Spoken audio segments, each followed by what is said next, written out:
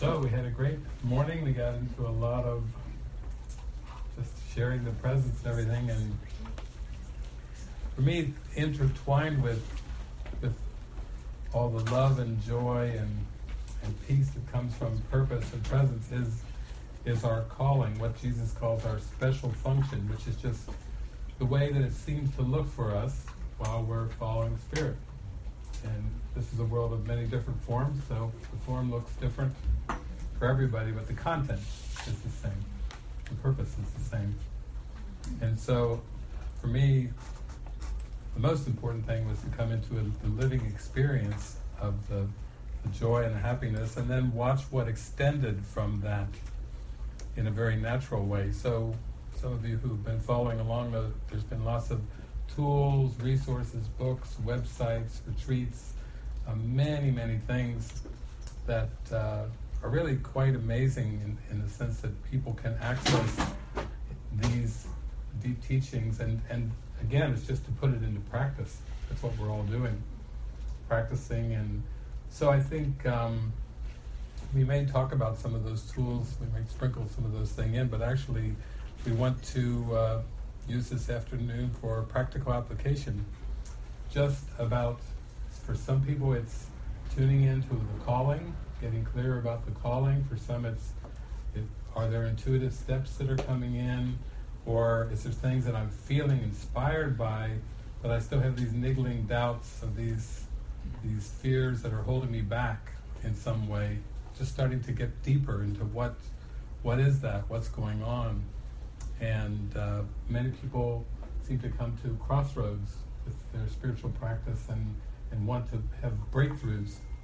Uh, just like in this world, there can be like certain things that you aim for, but when you're going for peace of mind, that's a very present goal.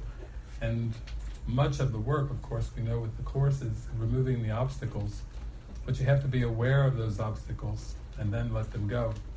So I'll open it up here for everyone, and we'll spend the afternoon just having a good uh, talk on practical application.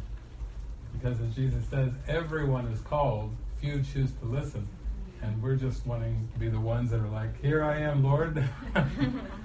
uh, I did have a, I mentioned some lunches recently with Judy Skutch and with uh, her husband, William Whitson. And recently, William was telling me the story of how he um, he had had such a beautiful, full life.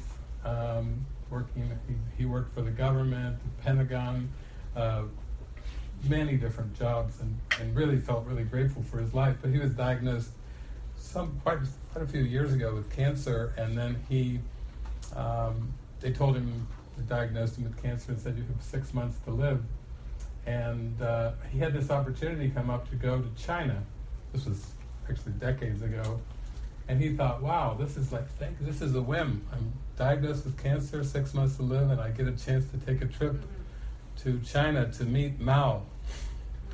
And uh, he was like, wow, that's a, a nice little whim, thank you. know, so the delegation, uh, he told me the story.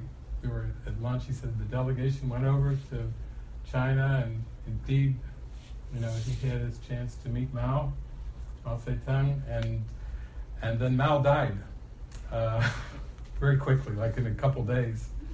After he met him, the whole delegation had gone over there from America, you know, me, but Mao died, and then there was a lot of political infighting of, you know, when the supreme leader, uh, what, you know, who, who's going to take charge and all this that started to happen and everything. Kind of a bit of a disturbance, political chaos, and as you might imagine, it wasn't like the pre- prime minister or the premier uh, being dying or being shot. This was Mao, and so it was a big deal. And he said the Chinese they just didn't really know what to do with this American delegation because with all this infighting and all this going on, so they just they sent them off to Tibet and dumped them out on the streets of Tibet. and, and, he was part of the delegation. So I said, Well, how did that go? And he said, Well, we're up there and we didn't have a place to stay and we're out on the streets. We didn't know where to get food. We're in a culture we didn't know. the American delegation got down. And so he was on the streets, and he'd already been diagnosed with cancer, and his health was going down. Uh, living on the streets of Tibet, kind of cast away and unknown uh, after this real kind of uh, almost like a, a, real revered kind of elegant life and working in politics and this elder statesman and all this and this. And so, anyway, his health is going down and he doesn't really have much to eat, and his health keeps going down, down, down to the point where he, he says, Oh, looks like I'm dying. Reached this. And so he, he said, I just, I just prayed to Jesus and I just said, uh, hmm, Jesus, thank you for my life. What a magnificent life I've had. What a full life. I even got the whim to come to China. but I wanted, you know, because he was loved the Chinese culture and everything. And so he was just in total gratitude, just dying in the streets of uh, out in Tibet somewhere. And uh, and he gave this prayer of gratitude, and then and then he says, I put it at the end. He said, "Oh, and if there's anything at all you want me to do on Earth while I'm still here, uh, I'm your man." so, so, his health started to improve radically. He he made it back to the United States. He married Judith Skutch, uh, the publisher, one of the original four with the course, and he's helped oversee the translation of the course into 25 languages. So I was recently, um, I was just there with with, uh, and Nikita came with me to one of them. I think he might have even been. He was telling us the story one of the ones mm-hmm. we went to.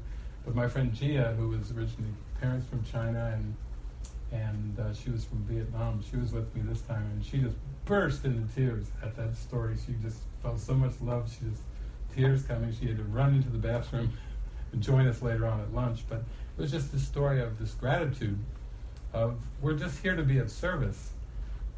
And that story, you know, it's it's great because if you look at the conditions as the ego judges them, it got kind of uh, dark there at the end, and yet it, the gratitude just came shining through for everything, and it, it, just took over. And then out of that gratitude came the prayer, like, if I, if I could help you out with anything, I'm your man. And then, so here he is now. He's about 90 years old, and he's still still at it, still overseeing the translation of the course into all these different languages. So this is a great parable of just service, that that's really the only reason we're here. And then the ego tries to distract us with many other things here. But um, as I was having lunch, and I remember too, Nikita, when you were with me, I think the first two hours of our lunch, you just had one word four going through lunch. four hour lunch, and you had one word going through your mind during the first couple hours. Behold. Just behold. It's all she heard the Spirit saying during the lunch. Just behold, behold, behold. The, the reverence of devotion, the purpose of, of hanging in there with your task, whatever your task is. And we've had some interesting things that came through those because I think at one point Judy was saying to me, "Yeah, Ken, Ken Wapnick kept saying to me, you know, actually, he was saying to Judy, what we're doing here with teaching, disseminating the course, translating the course, publishing the course, and everything, he would tell Judy, he said, uh, all of this that we're doing is is Plan B. Uh, there is a Plan A, and uh, Judy said she's a little bit. Why are we Plan B? you know, like how how would it be? But plan A was more the, the sense of a mystery school. The plan A is living it. It's mm-hmm. it's so embracing it. It's so aligning with it. It's so fully experiencing it that it's it's simply a state of mind that seems to look like it's in action.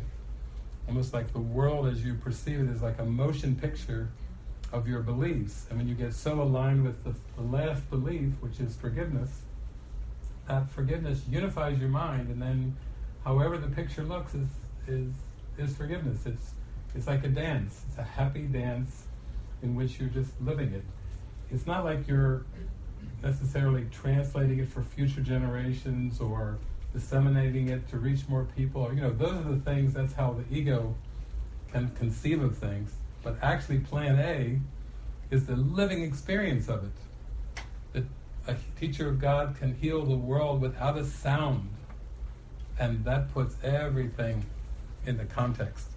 It goes beyond the words, it goes beyond all the actions and all the clearings and everything that we've come to know as the spiritual journey kind of in a linear way. And so it's beautiful because Judy said, yeah, I think uh, Helen, I think, had a, a, vision of like a Greek temple, and there were just a, small group of happy people there. It was like a vision in her mind of just living it out. And so I feel that's that is very dear because that's been my feeling. And I think for a lot of us, we resonate with that. Not trying to think of it and put it into linear conceptual terms, but oh, yeah, that's right. The state of mind, the Beatitudes in the Bible, just living it. And getting into that involuntary state of miracles are involuntary, they should not be under conscious control, where it's like Jesus says, when you have learned to decide with God every decision becomes as easy and as right as breathing. And it will be as if you are carried down a quiet path in summer. It's poetic, it's simple, it's easy, it's soothing, it's the presence of love, it's the presence of grace, where your life then becomes an involuntary expression of the divine without having to figure things out, without having to constantly keep weighing this decision or that decision. Do I take this turn or that turn? It can be very stressful and very wearying trying to keep choosing among alternatives which Jesus says aren't real alternatives at all. That within us is the real alternative. There is a place in our mind where we start to we grow tired of trying to make decisions in form. How do I live my life best? What do I do? And we get more intuitive and in line with our purpose. And then when we become in line with our purpose and we become very stabilized in that purpose, then everything else is just like a natural expression and outpouring of that purpose. So that's why, as we talk this afternoon, I think I can think of nothing more important than really tuning in to your gift, to your God given purpose, so to speak, the Spirit's purpose for your life, and letting that purpose orchestrate the form. Almost like uh, saying, Holy Spirit, paint me a picture, paint the picture of my life that is the greatest gift for the good of all. Let that be a, a painting and an expression. And then coming into that quantum experience where you realize every day that's your prayer. You're just waking up and saying, okay, let's paint a great picture today for the good of the whole. You know my skills and abilities. You know my circumstances. You know everything that I'm dealing with. Now, take of that, all the colors, and get that paintbrush out and just paint. Let's paint a beautiful picture. That requires trust because the struggles we get into is when we believe we know something and we believe we personally have to carve out our way, find our niche in life, measure up to something, live up to some kind of standard, um, have some kind of agenda, or otherwise our lives are purposeless, when actually this is saying, no, I want to open to the purpose. And every day I want you to show me and lead the way. And I do not know the way to you, but you do. In a workbook of A Course in Miracles, there's even a workbook lesson. I choose the second place to gain the first. I need the humbleness to just show up every day and say, I don't know. Uh, I'm clueless, but I do not know the way to you, but be you in charge. You are in charge. I will follow. As you get into that listen, follow, flow, the rhythm of just flowing with that intuition, a merge occurs where there isn't anymore a leader and a follower. You just see, a, you are the light. And that light is just radiating and expressing, and everything in the world is a dance that's expressing that love and that light. Everything in the world becomes a reflection of your own pristine mind. And how wonderful that is. So that's what I want us to do this afternoon. If there's anything that's heavy on your heart, if there's anything that's weighing, if you feel you're at a crossroads, if you feel you're at a turning point, if you feel that you have some glee and some joy and some passion in your heart, and it's like it's just bursting to come out, and then there's this wall of doubt that's just like, mm, yeah, that would be nice, but let's look at that but. Let's look at that but. What is what is holding me back from that glorious cutting loose in that divine expression of love? Because whatever we hold in our mind as a fear or a doubt thought or even a hesitation, our mind is so powerful that our slightest hesitating thoughts can seem to keep us not in reality but in awareness from the glory of that experience. So that's what we want to come to is an opening to that experience without any ifs, ands, or buts, you know, tied in there. So I just open it up. I'm so happy to join with everybody. Yeah. I'm kind of stuck on the healing. Um, maybe it's a very basic question, but I'm in the Christian Science nursing field, and the emphasis is really, you know, the, the, the physical manifestation of transformation of your, your, your consciousness, really, and emphasis on Jesus as, you know, heal the sick, raise the dead, cast out demons, cleanse the lepers. Um, and so I'm, I'm stuck on, on why healing the body is never, doesn't the body get healed just by, you know, mentally, um, why is there no, em- to me in A Course in Miracles, there's no emphasis on, on, on this he- m- m- healing, the body is, it doesn't matter whether it gets healed or it goes or it passes, you know, but in Christian science, it very much is, is, is the body will be harmonious. Um, you know, uh, the ideal, of course, is to be, you know, like Enoch or, or be translated or, you know, so why, why can't, why, um, I'm, I'm just sort of confused about the Course in Miracles not um, having that manifestation physically, you know, that I, to me, I'm kind of stuck in that, that point at the moment. hmm Yeah, it's very good. I think whether we call it symptom removal or however we would define that reflection of a, of a healed mind, um, it goes back to what I was talking about earlier about this form and content. Um, when you decide upon the form of what you want, you lose the understanding of its purpose. So, as long as there's any attention whatsoever placed on thinking something can be known about the body or known about health in the world, like health of the body. I said it's like an oxymoron because health is inner peace and the body is, is a, a, a concept, it's a projection. Uh, as long as there's a focus on the form, then that takes away from the focus on the healing of the mind. It reminds me years ago when I was I was traveling around. I was in Michigan and I, went to a church, like a, a Unity off, offshoot, um, and I did a talk there. And a woman came to me afterwards and she said, "Could I meet with you later in the week?" I said, "Sure." We met. We took a walk in the park, and she confided in me that she was a hundred percent healer.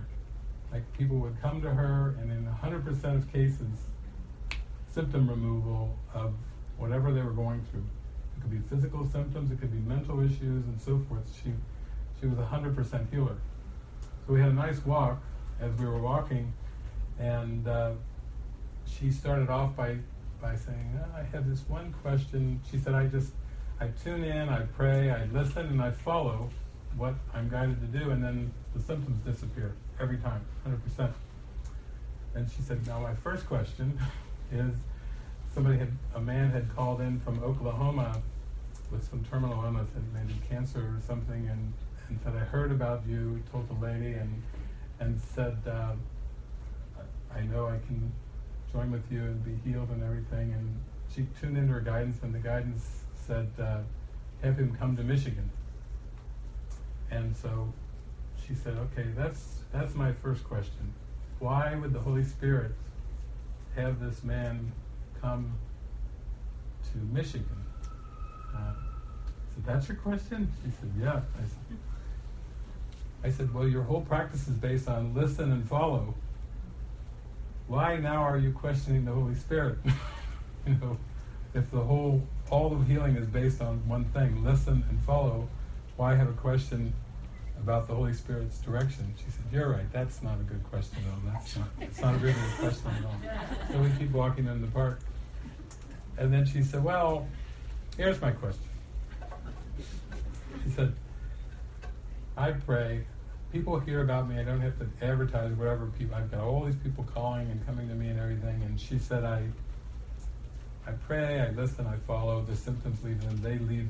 They're happy. They're rejoicing. It just goes on over and over and over and over. And she said, a lot of them come back. They're repeat visitors. They have different, different symptoms. Pray, they're gone. They come back again. Pray, listen. Symptoms disappear she says it just goes on and on. Uh, so she looked at me and she said, uh, Here's my question What is healing? And I said, Well, there is a, a workbook lesson in the Course in Miracles that says only salvation can be said to cure. And she says, You know, I'm married, I have children, I do this healing ministry, and I keep getting these prompts and everything from the Holy Spirit how deep this goes and and I'm starting to see that I have to keep questioning everything that I think I am, everything I believe in. I said, exactly. That's what salvation is. Salvation is emptying the mind of concepts, emptying the mind of identifications. The healing is the healing of perception. It's like when you look in a kaleidoscope and you turn it and all the colors. You know, we when we perceive a world with size and shape and color different textures, densities, and so forth. We're perceiving a world of fragmentation, and the sickness is the perception of a fragmented world. It's like watching a cracked cosmos, almost like a mirror that's cracked into zillions and zillions of pieces. That's the sickness. The sickness isn't in the pieces. The sickness isn't in the body.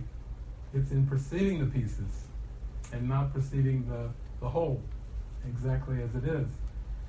And so um, this year, I think I was down in Australia and um, I was out with some friends.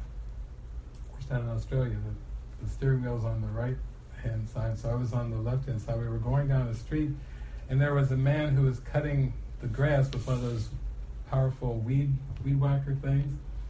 And we're driving along, and I'm sitting there, we're talking, and as we drive by, there's a guy with his headset on, and his, he's doing professional weed whacking, and apparently a, a rock got hurled out right at the car, right at the window where next to where my head was, and it just went boom like a bullet uh, hitting it, and then the windshield of the window just started to break and into look like thousands, tens of thousands, millions of little tiny pieces. It just went and it continued on as we, you it go.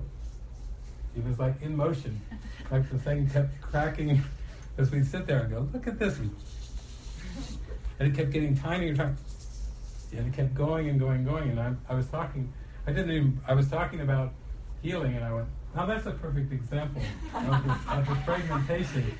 As uh, there was a boom, and then I, and we kept on talking. I said, "No, see how you, listen to it. You can hear it still seems to be splintering and splintering, you know, and still going and everything. And then we looked over at the guy who was cutting. He had his headsets on. He was totally oblivious, unaware of anything, and, the, and it kept going and going and going and going until it covered the whole window. There wasn't even a spot where the it just, and you could still hear it was still going. And so that turned into a beautiful teaching episode of like the problem is not specific. The problem is the perception is perceiving a fragmented world. To believe that one of the fragments, like a body, could have an illness or symptoms, you're, you're perceiving inside the fragments and trying to say, oh, this, this fragment has cancer, this fragment has heart disease, you know, trying to break it up and like label the problem inside the problem when the problem is you're seeing a distorted world, it's just distorted perception. So there's many, many great lessons in the course workbook that address that, but lesson 79, let me recognize the problem so it can be solved. And lesson 80, let me recognize my problems have been solved. Those are two powerful workbook lessons that say basically, even if you already have the answer, which we do, the Holy Spirit, the atonement, it's already been solved. Even if you have the answer already, it won't do you any good as long as you misdefine the problem. If you keep defining the problem out there among the specifics, among the parts, even though you already have the answer that shows the whole is real and the parts are not, it's not going to do you any good as long as you misdefine the problem. So some of you might have seen uh, that movie, uh, What the Bleep Do We Know? And then the sequel was Down the Rabbit Hole. I think it was the second movie where there was a quantum physicist talking about um, that idea of um, what is the marital status of the number four or five, whatever it is, number four. What is the marital status of the number four? And everyone laughs because, you know, the number four we live, it doesn't have a marital status. So you can't really ask what the marital status is. But all of our questions in this world involving specifics around the body and why did this happen to me and why not this and why not that and this and that. To the spirit, it, that's how funny the human questions are because the questions really are just ego statements. It's really like there's not really a questioner underneath the ego. It's like saying, "Who am I? Who am I? Did you bring home the milk I asked for?" You know, that's not a real question. Human questions that seem to be real questions on the timeline are all funny to the spirit. The angels laugh at all the questions because the questions are nonsensical questions like what is the marital status of the number four? All the questions are. In fact, we're just asked to follow the guidance, tune into spirit, and let it flow through us, and then it will dissolve away the questions because the ego is the questioning mechanism of the mind. Now, we can learn to start to question our consciousness. What do I believe and what am I identified with? Those are helpful questions because they start to loosen our identification from the concepts and beliefs. But when we start pointing our finger out, why did this happen? And why did the country invade that country? And why are people this way? And, you know, we're, we're just aiming our questions. It's just the ego distracting us with a bunch of nonsensical questions that we believe are real questions. But really, it's just puffs of nothingness, doing nothing and going nowhere. So that's it helped me to start to understand that. To start to, I was going to question my consciousness. And speaking of Mary Baker Eddy, because that's the core of what you're talking about, there's no life, truth, substance, intelligence, and matter. It's all divine mind. So once we start to get out into the the mortal mind or the perceptual mind of fragmentation and separation, all of our issues and struggles are within the mortal mind. And the whole teaching of Christian science is there's no mind in matter, which means basically there is no mortal mind. That's what heals, but that's an awakening to our Christ self, our Christ principle, our Christ essence. Who we are is an idea in the mind of God, a pure, abstract idea. You might say that God thunk us into being.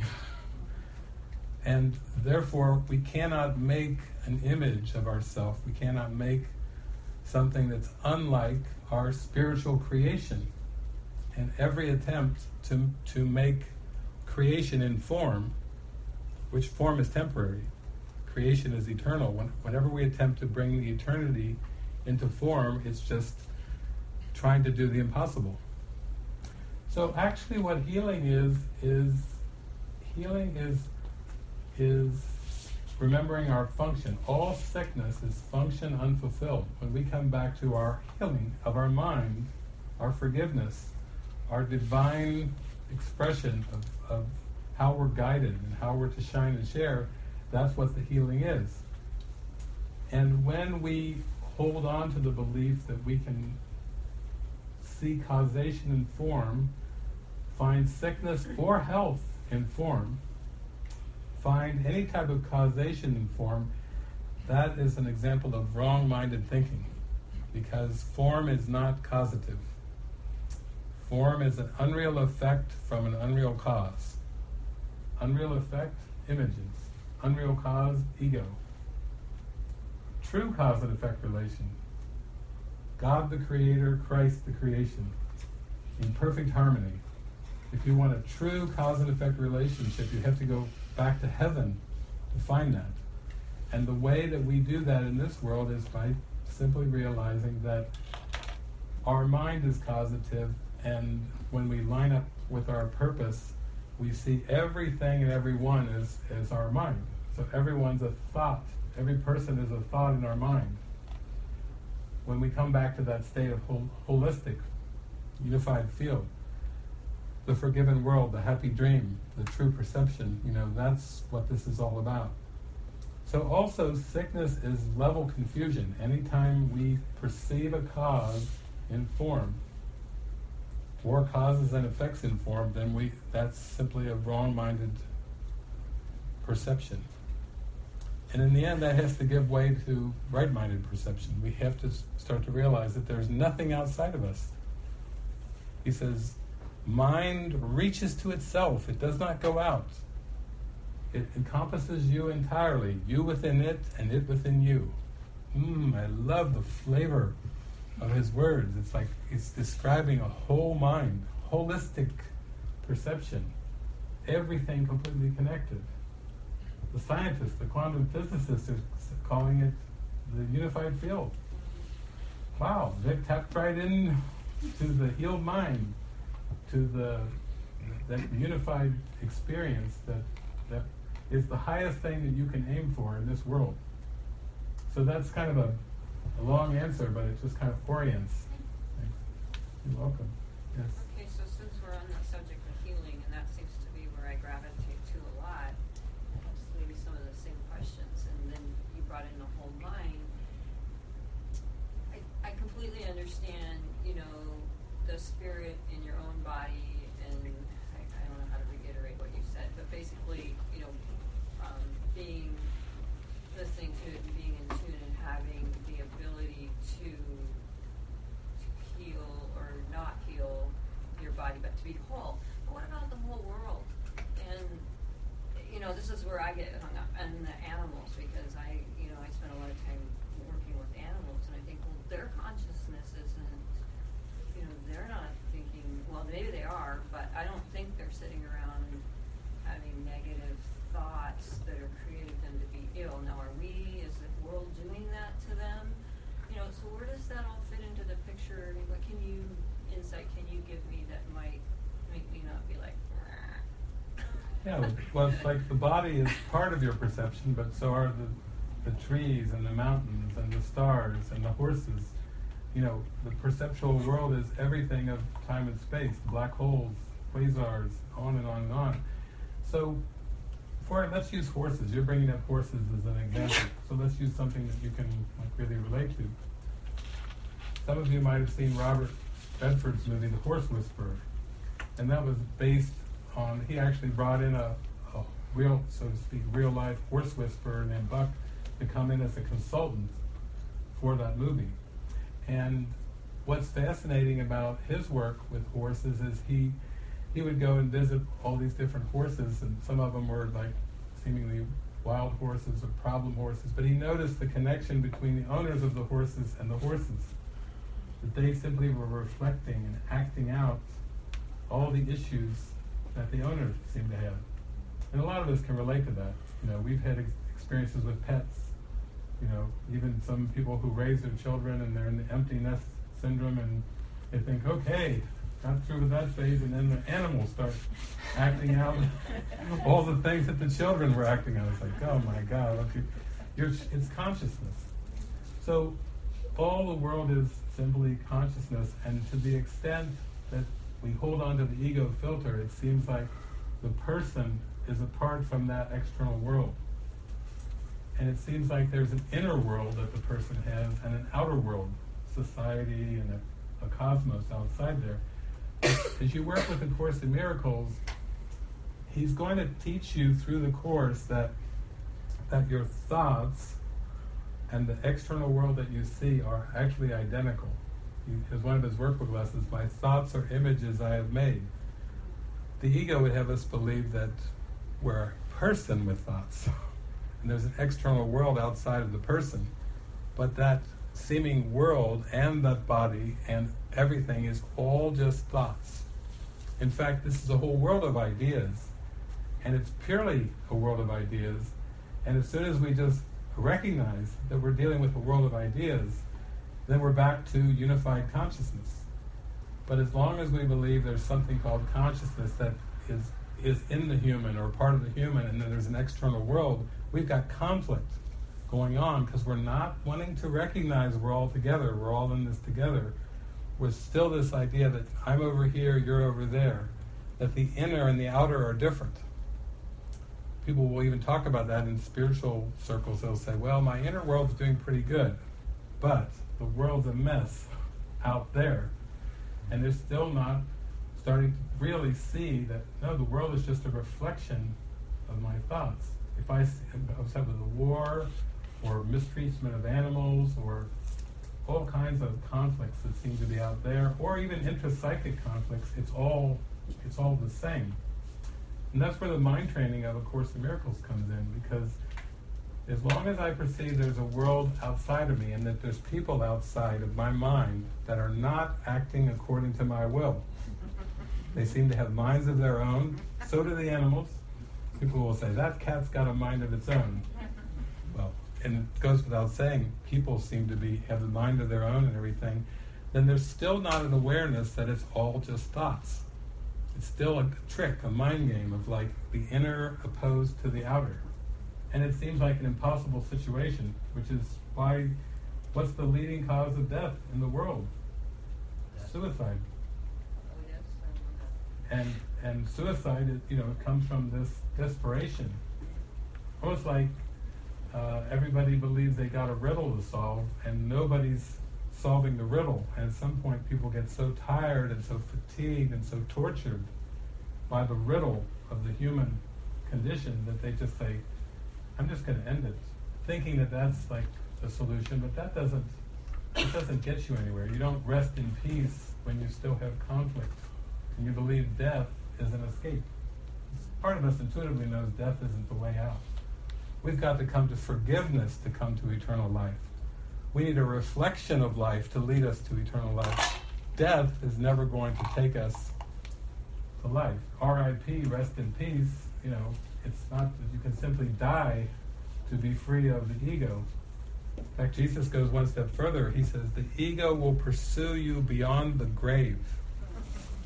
That doesn't sound good. I don't know about you, but I'm like, I'm going to do my forgiveness lessons right now. Thank you. What's the next step? if the ego is going to pursue me beyond the grave, I'll give up ideas of, well, I'll finally make it to old age and die. That's not going to get it. Sounds like a problem. that, that sounds like a, a problem. Meaning, I need to let go, let go that ego. you got to come back to that. Yeah. Yes.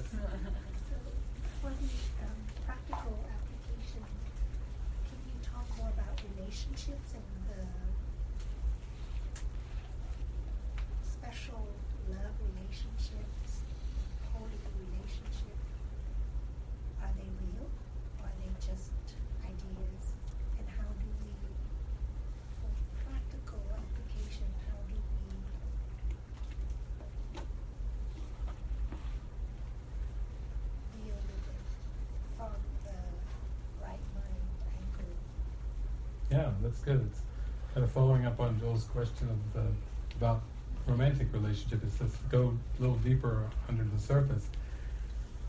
So those nine chapters on relationship from 15 to 24, Jesus talks about special love rela- relationships and special hate relationships. For most people, when they're reading through that, they can they go, "Oh, I know what you mean by these special hate relationships," because they can think right off the bat, you know, who do I really hate? He's got to be talking about this one. We can name them off, you know. Aha! He's got a word for it. Special hate relationship. There they are. The special love relationship is a little sneakier because it's the, it's the same hate, but it's dressed up in a disguise. So instead of being just get away from me and get out of my face and good riddance to you, I hope I never see you or speak to you again, it's more like it's coming back like a ghost, it's dressed up in a very attractive form. Now, I fooled you. Here I am. It's the hatred showing up dressed up uh, in a very attractive form. Because if if you could really recognize guilt at the core of it, you wouldn't be fooled by any form the ghost takes. You would just go, ha ha ha, sorry, not biting on that one again. The ego is so clever that it dresses up guilt in attractive forms. And it can be relationships, it could be chocolate. You know, you could have a special love relationship with chocolate. Many people do, you know, they'll say, I'm through with relationships, but I'm not through with chocolate. it doesn't have nearly the heartaches of the other one. I'm not getting the chocolate. You know, but they start this, there's some sections in the course, you know, during those chapters where he starts off and he's got um, three subsections in a row. One's um, attraction to guilt. The subsection, when, it, when it's titled attraction to guilt, you know, you look at it and you go, attraction to guilt. Then the next one is attraction to pain. Oh, this book's not going to sell. Whatever, no wonder the course is not selling. And then what's the third one? Attraction to death. When you put three subsections, try writing a book and putting those as three titles on there and see how, how well that one sells. But Jesus is not really concerned with selling, he's concerned with give it to you straight. So attraction to guilt, attraction to, to pain, attraction to death are all the same. The ego will take some forms of the projected world and make them attractive, and some forms make them very unattractive. Love and hate, and then you're you're attracted to the love and you're repelled by the hatred, and yet it's still projecting out a world in which there seem to be differences. Differences, witnesses of love and witnesses of hate. As long as we're still seeing dualistic witnesses, what does that mean about our consciousness? It still means we have a split mind and we're still calling forth conflicting witnesses. So in the end, you know, Mother Teresa and Hitler are the same from a healed mind. Or um, male and female become the same. Or, to use a more extreme example, birth and death become the same. Uh, and even, have, have, any of you ever seen the movie Solaris with uh, George Clooney? At the very end, his wife Rheya is, appears to him once again at the end of the movie, and he's just totally amazed that she's back there again on Earth. And he's got this look of of wonderment, and he said, "Am I dead, or am I alive?" And Rheya says, "We don't have to think like that anymore." That's the answer to am I dead or alive? In the end, what the ego calls dead and alive seems to be a big deal. That's why people get outraged with murder, because death seems to be real and life seems to be real.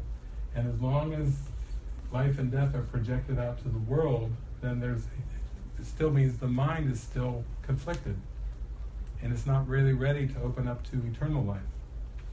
So in the end, that's the most that's the answer to the question is the sense that you practice with the relationships and anything that you judge positively or negatively about the form of the relationship is a, is a forgiveness opportunity to bring it back and go, oh, that's my that's my thought. I can't blame my partner. Neither do I want to blame the body either, because the partner, the body, all of those things are are actually neutral to the Holy Spirit. It's just that the ego is projecting all this meaning, and when it projects the meaning, it's also looking for its salvation. You know, looking for a better partner constantly, looking for a more peaceful environment constantly. I want to find the right people, the right this, you know, as if we can find the formula of just getting the Rubik's Cube of the world, just getting the form just right, and then I'll be happy. Mm. And it's really, no, we need to purify our consciousness, and then we'll see the whole world from a happy state of mind. See how empowering that is? That's what's that's Empower Health. Is that the name of it? We're here in Empower Health, and now we've just taken it all the way, you know, to what Empower Health is really all about. Blessed are the pure of heart, for they shall see God. You you first look inside and then you look out on upon a world that just reflects what you found when you looked within. So if you go for the purity, the forgiveness, then suddenly the world is benign and, and the world is a blessing. Everything is a blessing. Yes.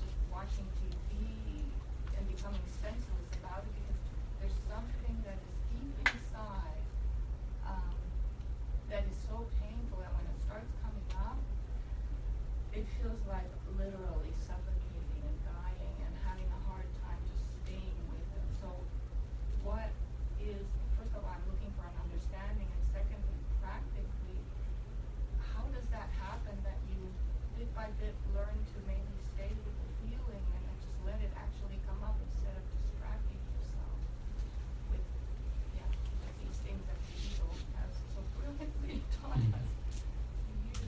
So that's sort of Yeah. what I'm struggling with. Oh yeah, it's a very good, deep question. When you start to get into readiness and willingness, we're getting really deep. Now we're getting down into the deeper chambers of the mind. The Helen Schucman, the scribe of the course, one time was having lunch with uh, Judy Skutch and Willis Harman, a very famous um, transpersonal psychotherapist, and and Willis Harman had to go off to catch a flight, and and uh, so he's asking. Um, Helen Schucman to just summarize the course. Just summarize what, what you feel about the course, because he's got to go and catch an airport. And, and, and so Helen goes, Oh, well, you know, I know it's true, I just don't believe it. That's her quick, as he's getting ready to go out to the airport, that's her quick summary. I know it's true, I just don't believe it. And here she was scribing. She's already scribed it and done a great job. It took seven years of, you know, really going through a lot of intensity. And then Judy just recently at lunch, she told me, she said, well, actually, she said to Helen, you know, that's not entirely true. She said, you should have told him, I know it's true, I just don't want to believe it. Judy kind of reminded Helen at that point. See, the thing about it is, you know, you've seen my, I've got diagrams and levels of the mind. It's, it's all there in books and on the internet. All you have to do is just go avail yourself of all the stuff that's there, and it's just as easy as one, two, three. You just have to see it and and give yourself over to it and be shown. Demonstrate, let the Spirit bring it to you.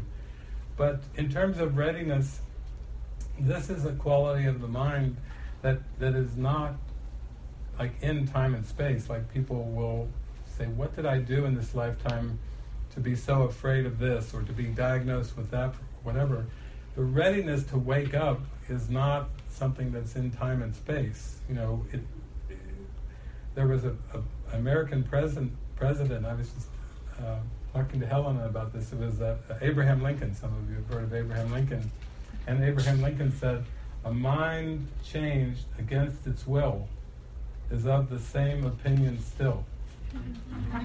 Pretty profound from a president. you know, it's like he was praying a lot, you know, the Civil War, and he was really diving deep. So the course keeps saying, you know, you need to you need to keep practicing this little willingness, this little willingness. Keep practicing your little willingness, little willingness. And eventually he says it takes great willingness to see that all events, outcomes, circumstances are, are helpful. Great willingness. He throws the great in there finally after all the little willingness things throughout the course, saying it's going to take really a devotion to come to see that all things work together for good and there's no exceptions except in the ego's judgment. So whenever you say you beat yourself up, you're just still looking at the form and you're making a conclusion. It could be anything. Why am I not getting this? I can't apply the ideas. I'm never going to, you know, the ego's got this whole litany of defenses. And and yet, um, another thing that uh, Helen and I were talking about was this, like the, the mind. It's all for for the mind, all the lessons, but but it's it's more of a vibrational thing, like things everything is working together for your good. Everything that seems to be occurring, and the ego is just defending against that and interpreting, interpreting and saying, judging against it, even though everything is always in this divine flow, and it's all working together for the good. It's just ego's interpretation is, oh no, has gone wrong. Well, this proves this. You know, it's always trying to defeat the mind. It's always trying to dismiss the miracles dismiss the love and always come back with that darkness. So I would just say, you know, come back to the what's the prayer of the heart as you keep hanging in this whole interpretation of Lyme disease and the way that seems to be playing out. This was all it's all part of a prearranged plan. This was all selected. At some point, as you keep going into the healing, you're just going to have this burst of laughter and go, "My God, what I, I really tried to make it a rough case from the ego's point of view, and the spirit was gently there at every turn. Did you get it? Oh, try this one. Did you get it? That's okay. Here, try this one. Did you get it? Like the angels are so playful, they keep like spinning the Rubik's cube. Don't worry, you're going to get it. Like you would with a child. When a child's taking its first steps, you know, and falls to its knees, you don't scold the child, you know, you're like, oh, and you go and you're encouraging that child to go from crawling to walking. Always offering encouragement. We have to be the same with our mind. Encouraging, encouraging, not quick to find fault and shut down and, and judge and be critical. You know, we, we need to be this the same kind of way.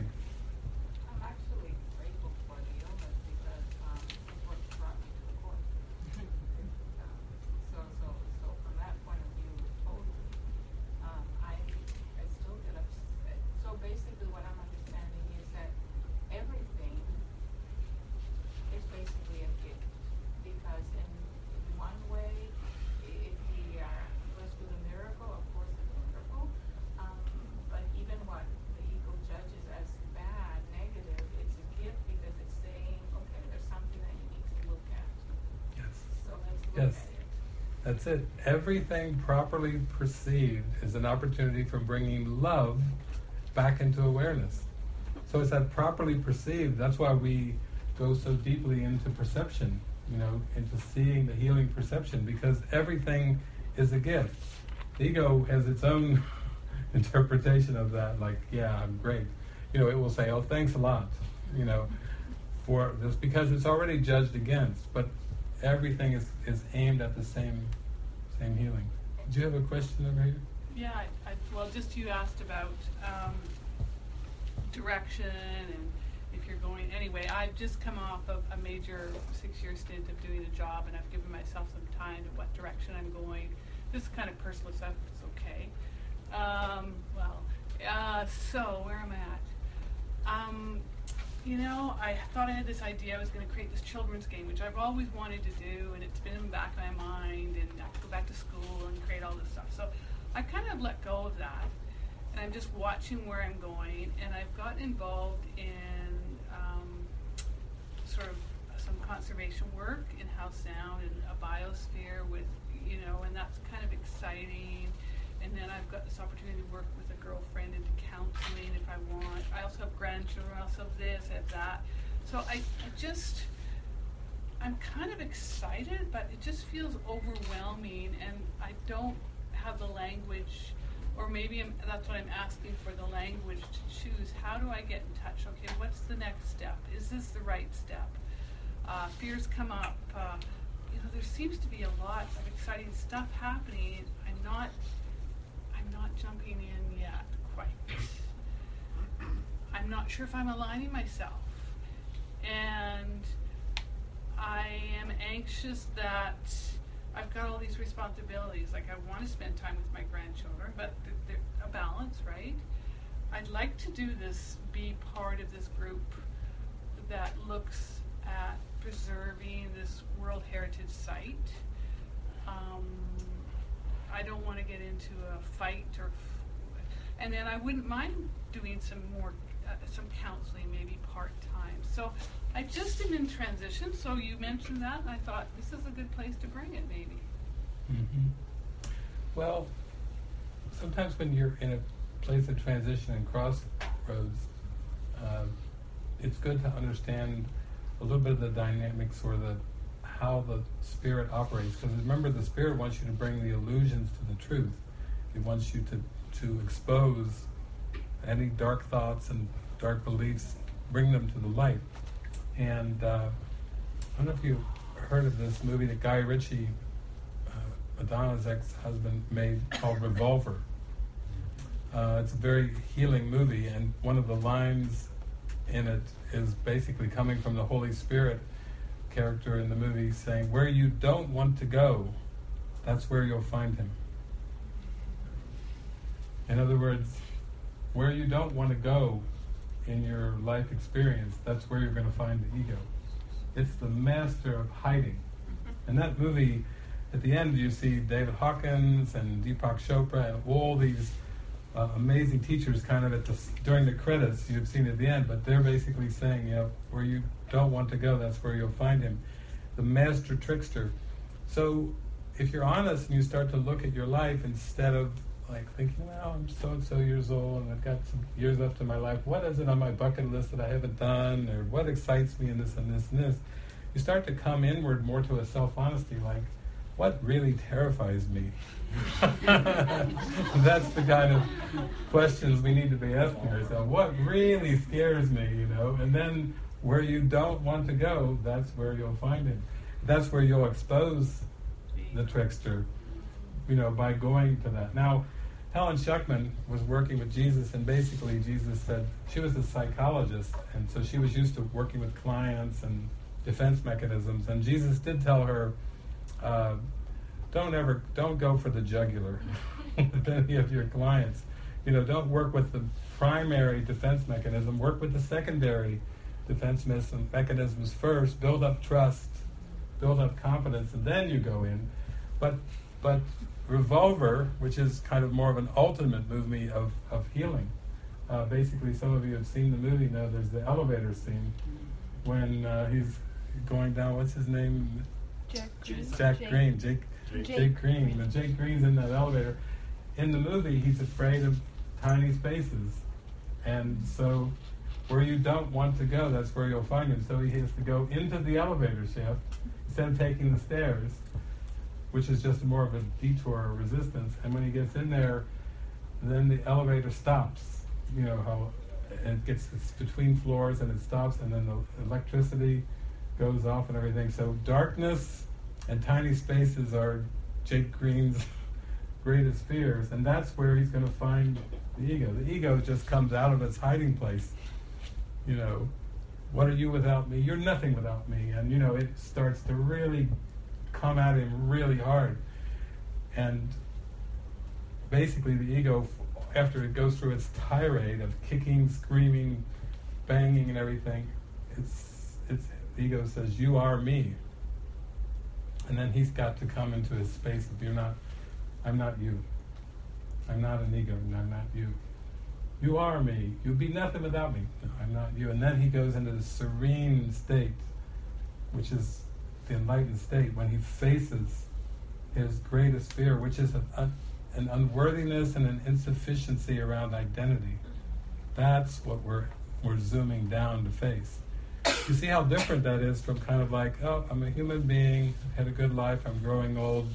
What's on my bucket list, and what is it that I can, it'll bring me some excitement and in- interest to, hmm, you know, uh, maybe I at some point bought into this idea of, of worthiness and I played small. What areas of my life am I still playing small?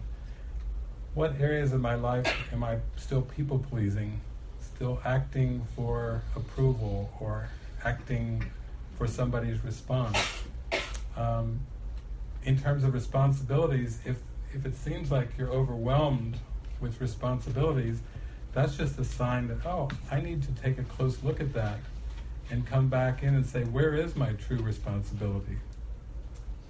These things, if the ego set things up to keep me in guilt, and my responsibility is to be divinely happy, and my responsibility is for the whole universe too. It's not just a personal responsibility. I'm here as uh, in the Matrix. You are the one. You know, I, I'm here because I've been told I need to wake up and accept that I am the one. Then you can start to face where am I compromising? Where am I still playing small?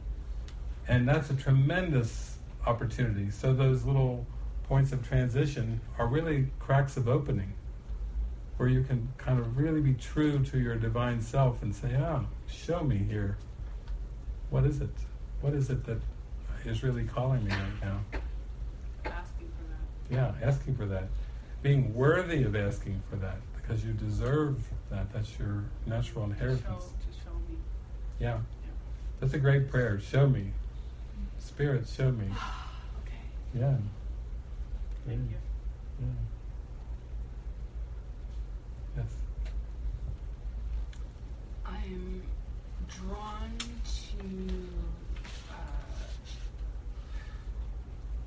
suffering children. You know, I can sometimes completely detach, well, completely detach. No, I can pull out, and it is one. Right, and it is exactly as it should be, as I am, as we all are.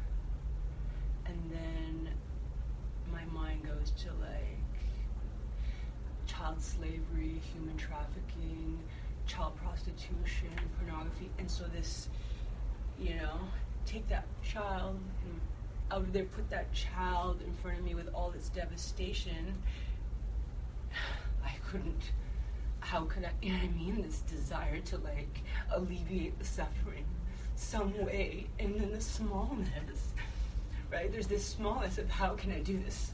I want to do this. I want to go, you know, relieve one or the thousands of children on this planet, and yet, um, it's my per- is that my perception?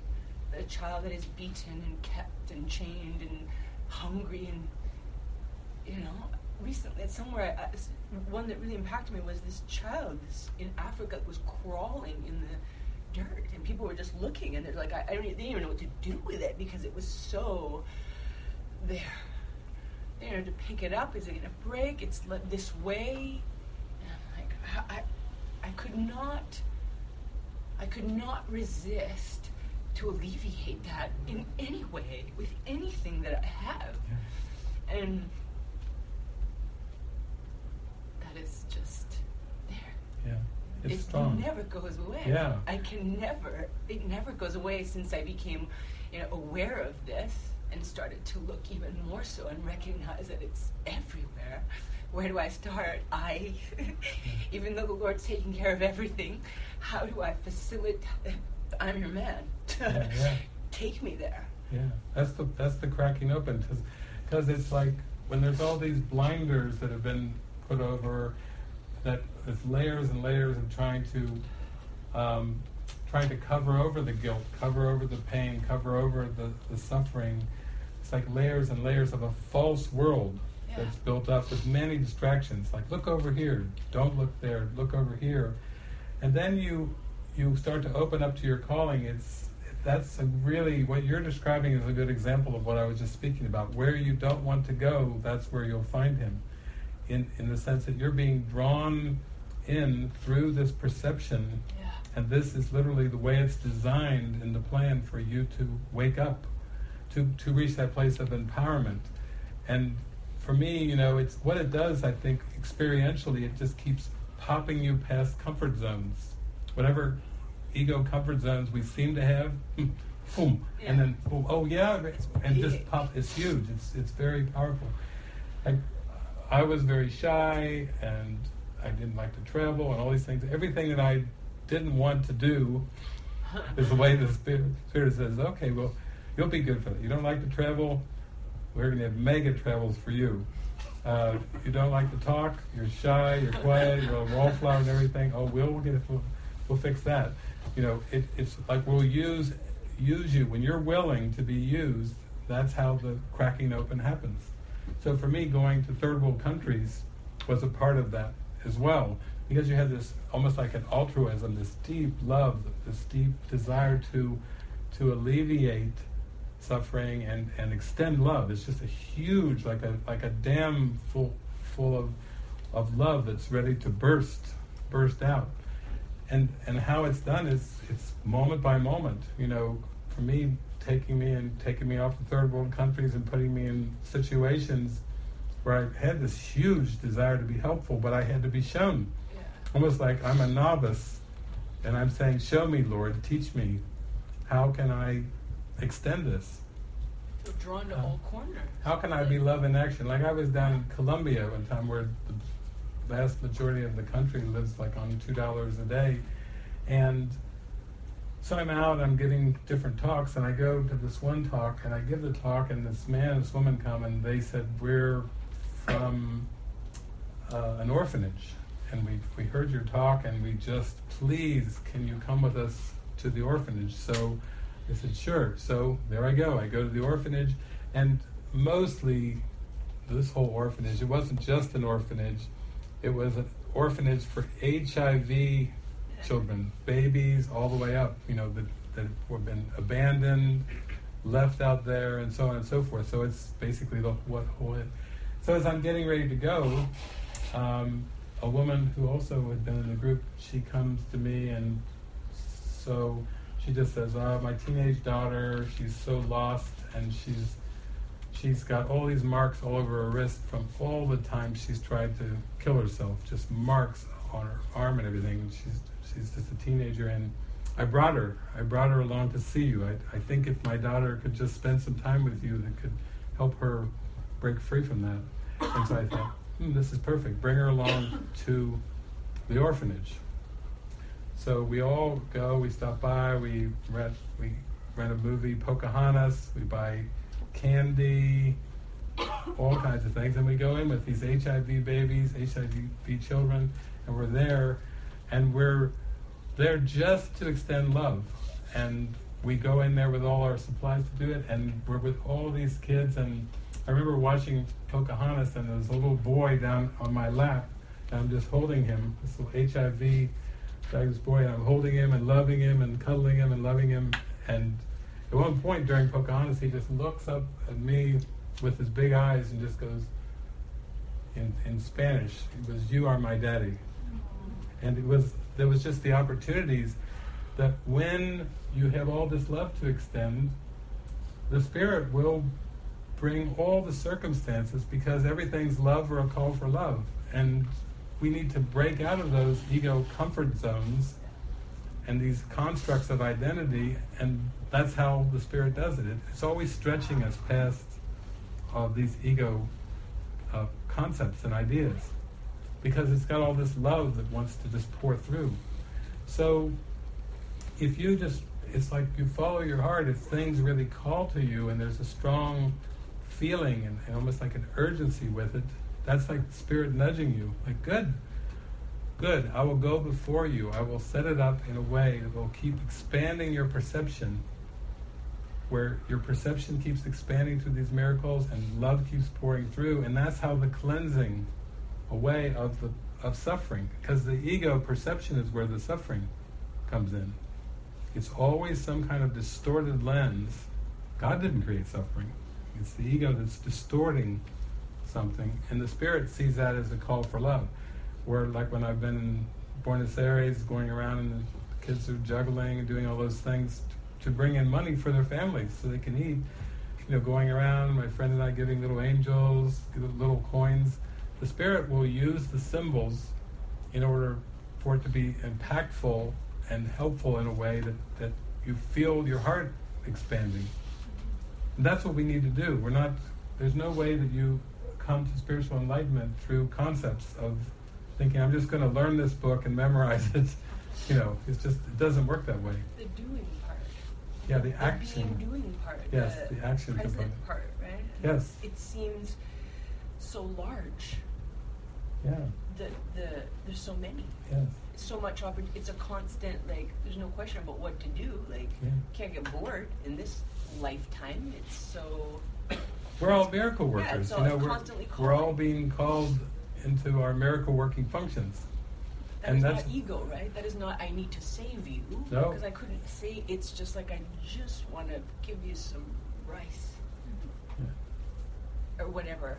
That's the involuntary uh, nature of the miracle. When, whenever I've heard teachers say, well, you know, it's just an illusion, I remember asking Holy Spirit and Jesus about this. It's just an illusion stuff. And it's interesting that Jesus Christ, 2,000 years ago, never went around uh, talking about the world as an illusion. He just was going around in, in love and gentleness and friendliness and extending.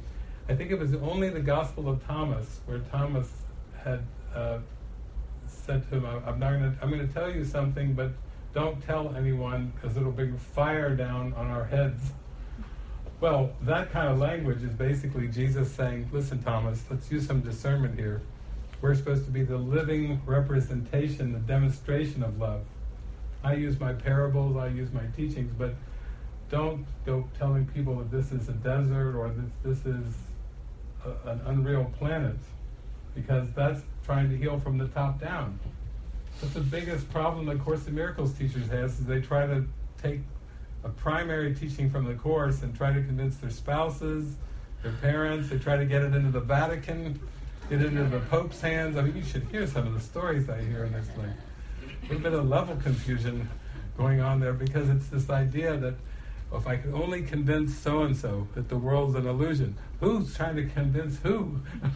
you know, if you come to that experience and and your state of mind reflects that you have nothing to defend, that you're holding on to no values of the world, then your state of mind will be a tremendous teaching and healing because that's true empathy.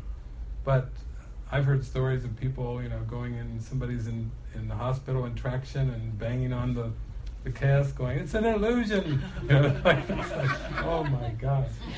You know, it's, when you take something as deep as the Course and as metaphysical and, you, and the ego gets a hold of it, you know, it will just try to use the words. And it's not coming from a presence. It's not coming from that deep connection. So I, I really feel this is your your inroad. You need to pay attention to that huge oh, calling. Oh, yeah. every day. Every I do every day. Yeah. It just ex- seemingly extending outward. It's very large, and I'm just like, I need some people with me because this is too much for. I'll go, no problem. But it just seemingly so large that uh, it's everywhere. Yeah. To be present, the opportunity arises constantly to be present anywhere and everywhere. Yeah. Focus on the little ones because the thought breaks my heart open. Well, that's great that you're expressing that too, because I feel Jesus says miracles are a collaborative function and uh, collaborative expression, and so that's the way it's gone in the parable of David, where I go out, I just love to join, collaborate. It's the collaborative vibe, you know, where in one sense, if you're in the miraculous state of mind and there is an action component involved, the Holy Spirit will will give it and actually do it through you. He says it cannot be difficult to do the task that Christ appointed you to do, for it is He who does it. Spirit will come rushing through you, and there can be an action component to it.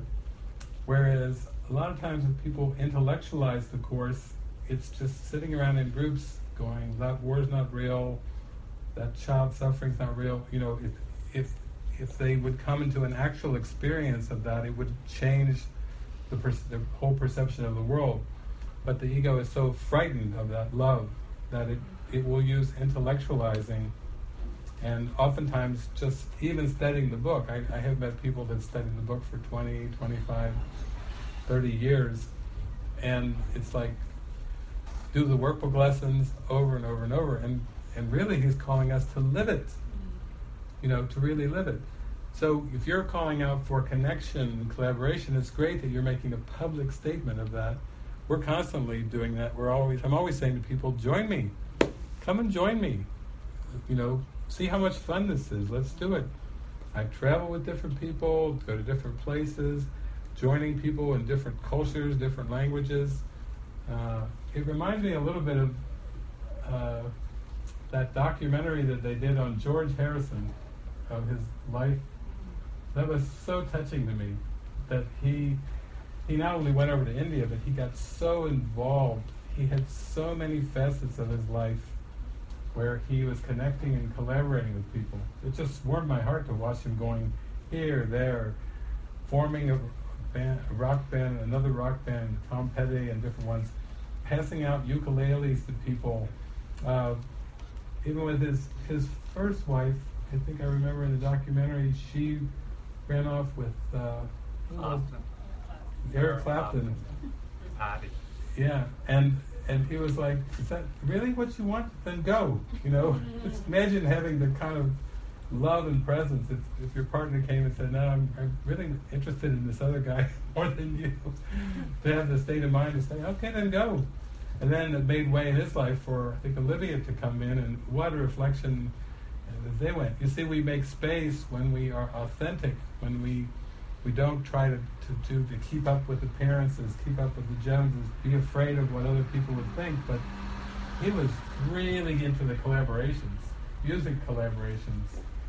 What, that big thing he did to raise all that money, was The it concert for Bangladesh. concert for Bangladesh, like groundbreaking kind of things he was doing. Like you said, there's lots of opportunities, and he just was like, okay, I'll take that one, and I'll take that one too, and that one, and that one, and that one. He was jumping in beyond ego comfort levels and just getting into the love. And I think that was a great example for all humankind to, to see that. Uh, my heart just lit up when I saw that uh, documentary. I just was like, wow, what a life. That's amazing. Yes, did you have your hand up? Me? Mm-hmm. No? Okay. I was just wondering how you ever left that little guy who looked up at you and said, "You're my papa." Well, it, for me, it's so much in the moment that that's that loosening of, of time. Because all of us have had that experience with, with loved ones or something where it's like that Sarah Brightman song, you know, it's time to say goodbye. Um, from the ego lens, goodbye is one of the hardest. That's why when people, loved ones even physically die, there's, there's a lot of grief almost like there's a belief that the communication is broken. That touch, that that care, that close intimacy somehow something's been lost. And underneath all that is this belief in loss that Jesus says in the Course, you have many strange beliefs, but perhaps the strangest of them all is the belief that you can lose the ones that you love. That's interesting coming from Jesus. So for me, how I was talking this morning about getting into a life of giving, when you're into that giving mode, giving, giving, giving, going round and round, and you just your whole life becomes a, a symphony of giving, you are filled up because that's our function. Our God-given function is to, to give as God gives freely.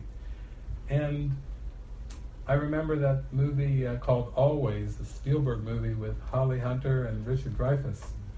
Uh, there was some kind of line in there in that movie where the, only pain we carry with us is the love that we withhold. When I heard that line in that movie, I was like, oh my God, that just hit me like a ton of bricks. Like, what's been my mind withholding that is bringing the, the pain, the suffering, the I need to get into this giving. And that has been like a calling for me is to really get fully into that, to not hold back in any way. And in that sense, you know, it, it's been there isn't there isn't a separation anxiety, there isn't a, a sense of um, losing something. Uh, like even in my life, the, I travel so much that probably the most common face that I saw in my life was my three-legged cat, uh, tripod. You know, and so and I had this kind of telepathic thing with this cat that it was like and the cat was like saying, "I'm with you, I'm with you for the duration. I'm with you for your whole life. I'm going to be here as a companion for you." And then whenever that was, a couple years ago or something, when tripod started to go down and passed away, uh, literally in my bed, we had had a little meditation of satsang. It was so much love. The whole house was just filled up with all this love. And then, uh, and then I went off on my travels again. And when I came back, there's a kitten there. It's almost like it's like I'm back now. I was female before, but now I'm male. I had three legs before, but now I've got four. Watch me go, and and I'm with you all the way. I still, I'm still here. They're even saying the meow is the distinctive meow. It's almost like it's identical. It's like I'm back. I, the form has changed, but I'm right with you as a companion here all the way through everything. So you get more and more that feel that that you don't really lose anything in the giving. You just feel that that connection, that love. In fact, didn't we do was a video recently that all addiction Mm-hmm. is a call Is a for call connection. love. Uh, is a call for connection. Yeah. Yeah. all addiction is a call for connection. So, whatever form the addiction takes, it doesn't matter. It's really a call for us to connect and to extend the love. And we're all capable. That's why we're here having this talk. We're we're ready. We and there's so many ways to connect. So many ways through the the meetings. I, I mean, I look around the room, different places we've cr- crisscrossed around the world, and Richard and Lisa. You know, we've had all these different interconnections, and it just keeps going on and on and growing and growing. And to me, that's what this is all about. You know, you just keep going with that. What what really lights your heart up? What really brings you joy? And and watch whatever those niggling doubt thoughts are that would hold you back from that collaborating and connecting, because those are the ones that have to be exposed. You know, they they're being brought up by that that connection, that flow. That's such a powerful quote. I haven't heard that. The only pain we carry is the love.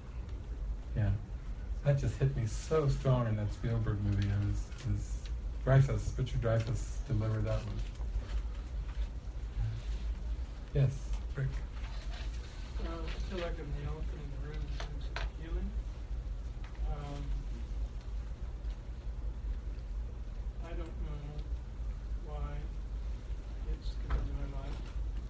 Uh, it's been presented by medical practitioners who had a really difficult time telling me that I have a terminal disease.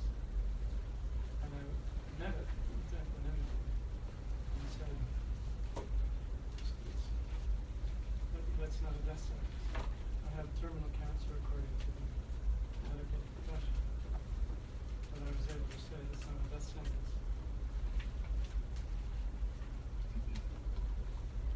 Initially, I started asking the question, well, what am I to learn from this?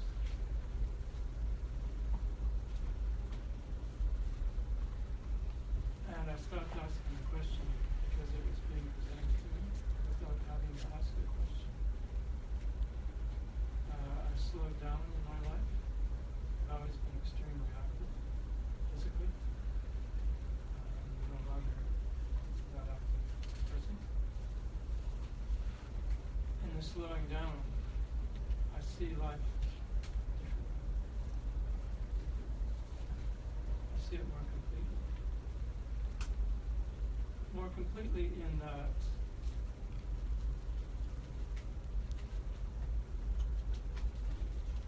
I don't glance over anything now.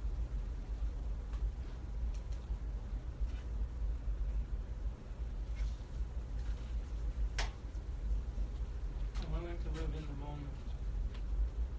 I've tried in the past, but this time there's, it's, it's unequivocal. You know, it's been presented to me. This is, this is how I'm to live in the moment. The freshness that that has brought has been absolutely unbelievable. The world looks exactly the same. I experience it differently.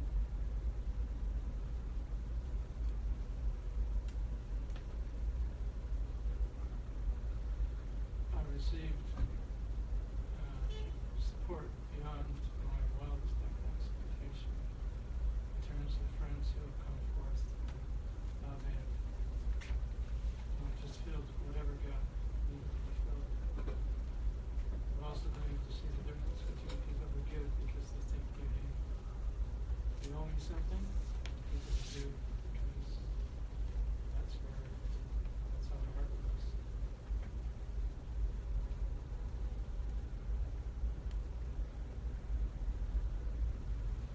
I don't know whether I'm killing, kidding myself.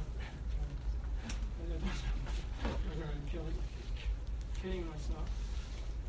Um, I'm not afraid. Whatever happens.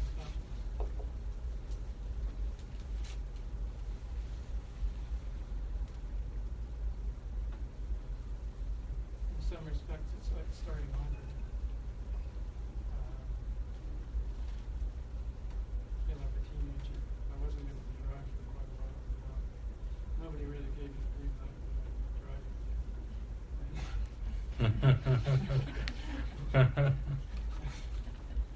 uh, so it's just breaking out of self-imposed restrictions.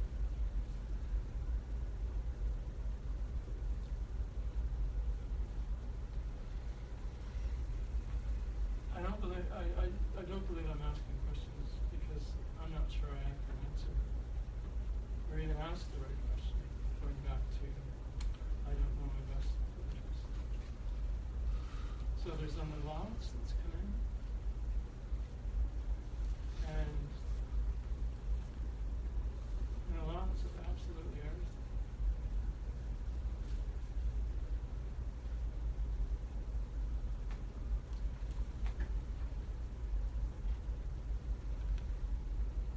And in that allowance, how things unfold now, it's absolutely extraordinary. Things just fall into place. One to the next to the next. Um,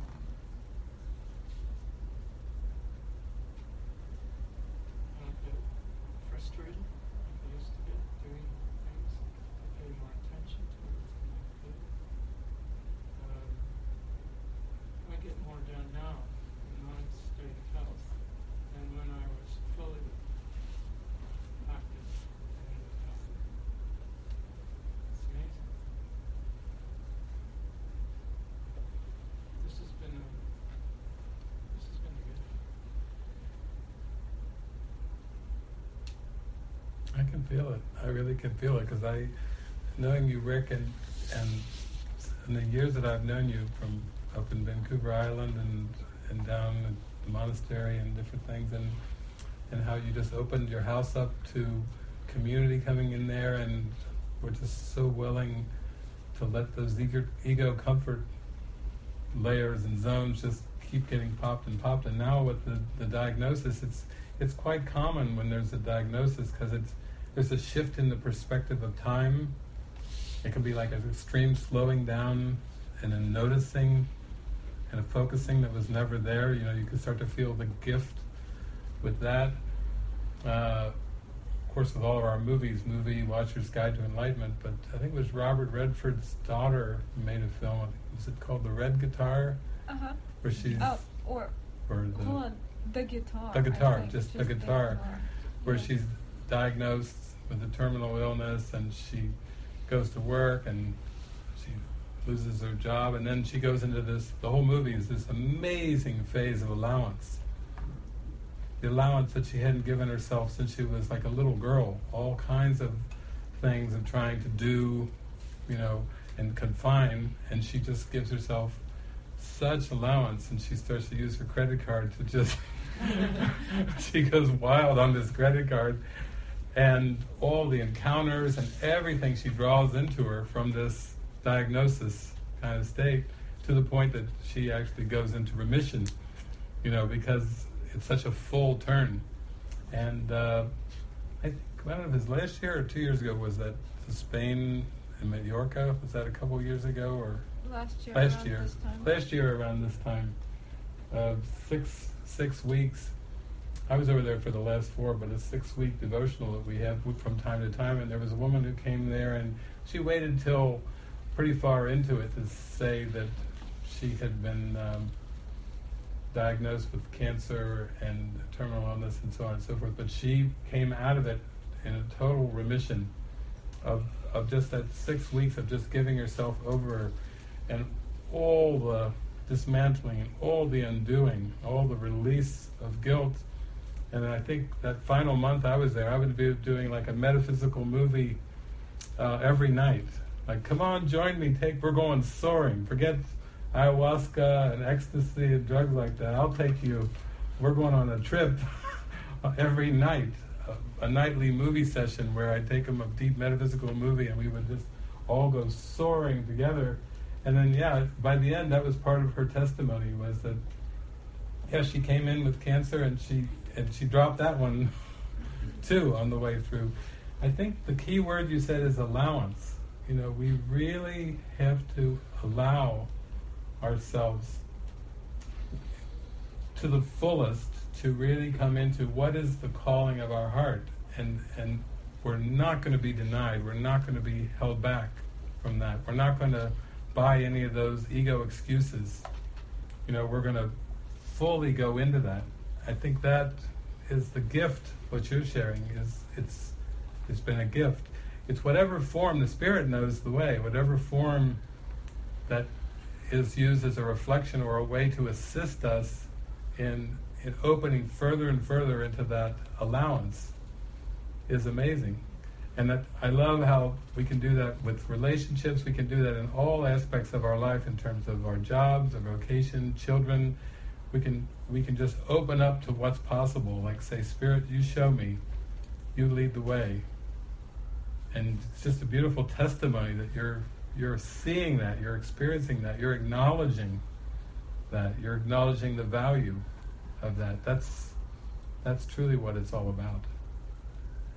And I've done that with people for years. I I uh, volunteered and um, hospice. I was actually training to work at a hospice many, many, many years ago, and then this this minister was also training beside me. But we went out to Wendy's one day and we're having lunch, and and he said, "Yeah, I've been diagnosed with cancer, and it's lymph cancer, and it's spread, and da da da, and the whole diagnosis thing and everything." And just we sat there eating our fries and our Wendy's burgers, and just kind of looking him in the eye and just saying, "Hmm." Is there somebody in your life that was close to you that you're not talking to? And he's like, ah, how did you know about my sister? and I, we had a nice lunch, and I said, well, listen, your assignment is bury the hatchet. you call her, you talk to her, there's so much love there, but you have not been communicating the love in your heart with someone who's very dear to you and everything. And I told him, I said, you know, everything we experience with the body is just a reflection of mind, and this is is what you need to do. Well, he, I didn't see him for a couple of weeks, but when he came back, he went in and he went into total 100% remission from kind of from extensive cancer. Just went boom, just popped around like that because he he was willing to listen to what I had to say, and he there was a grievance underneath everything in this world that seems to be any kind of discomfort or ill at ease. There's a grievance that we still haven't raised up. And he was so willing. He just came up to that and he just stepped right into it. And so I think that's what the opportunity is right now. You know, you're just giving yourself that allowance, that show me, that step by step show me, and everything slows down. Including, I think, remember there was a movie we have, what was it called, Insurrection or something? The, Insurrection. the yeah. Star Trek movie Yeah, Star Trek. where Picard and the next generation they all come down to this place and it seems like there's these primitive people that don't have warp drive and all this and this and and basically Picard is kind of shocked when when this woman in the group basically says uh, why would we need warp drive where is there to go? Talk about undo. The whole Star Trek is based on, you know, to go galaxies where no man has gone before and everything. And here's this woman in total grace and presence. Why would we need warp drive? Where is there to go? And then she slows down time in her mind and takes him, Captain Picard, into the holy instant. And he's like, you know, he thought they were so primitive. it's like, oh no, no, everything is backwards and upside down about the, this world. And when she slows time down, he just feels all this love. Hmm. And you know, that's a. There's so many great symbols throughout the movie that we're here for love and appreciation. We're not here to achieve and you know rejoice in technology and all kinds of things of the earth. We're here to rejoice in love, divine love, and wake up to it, and then let love use use the symbols. Yeah, it's beautiful.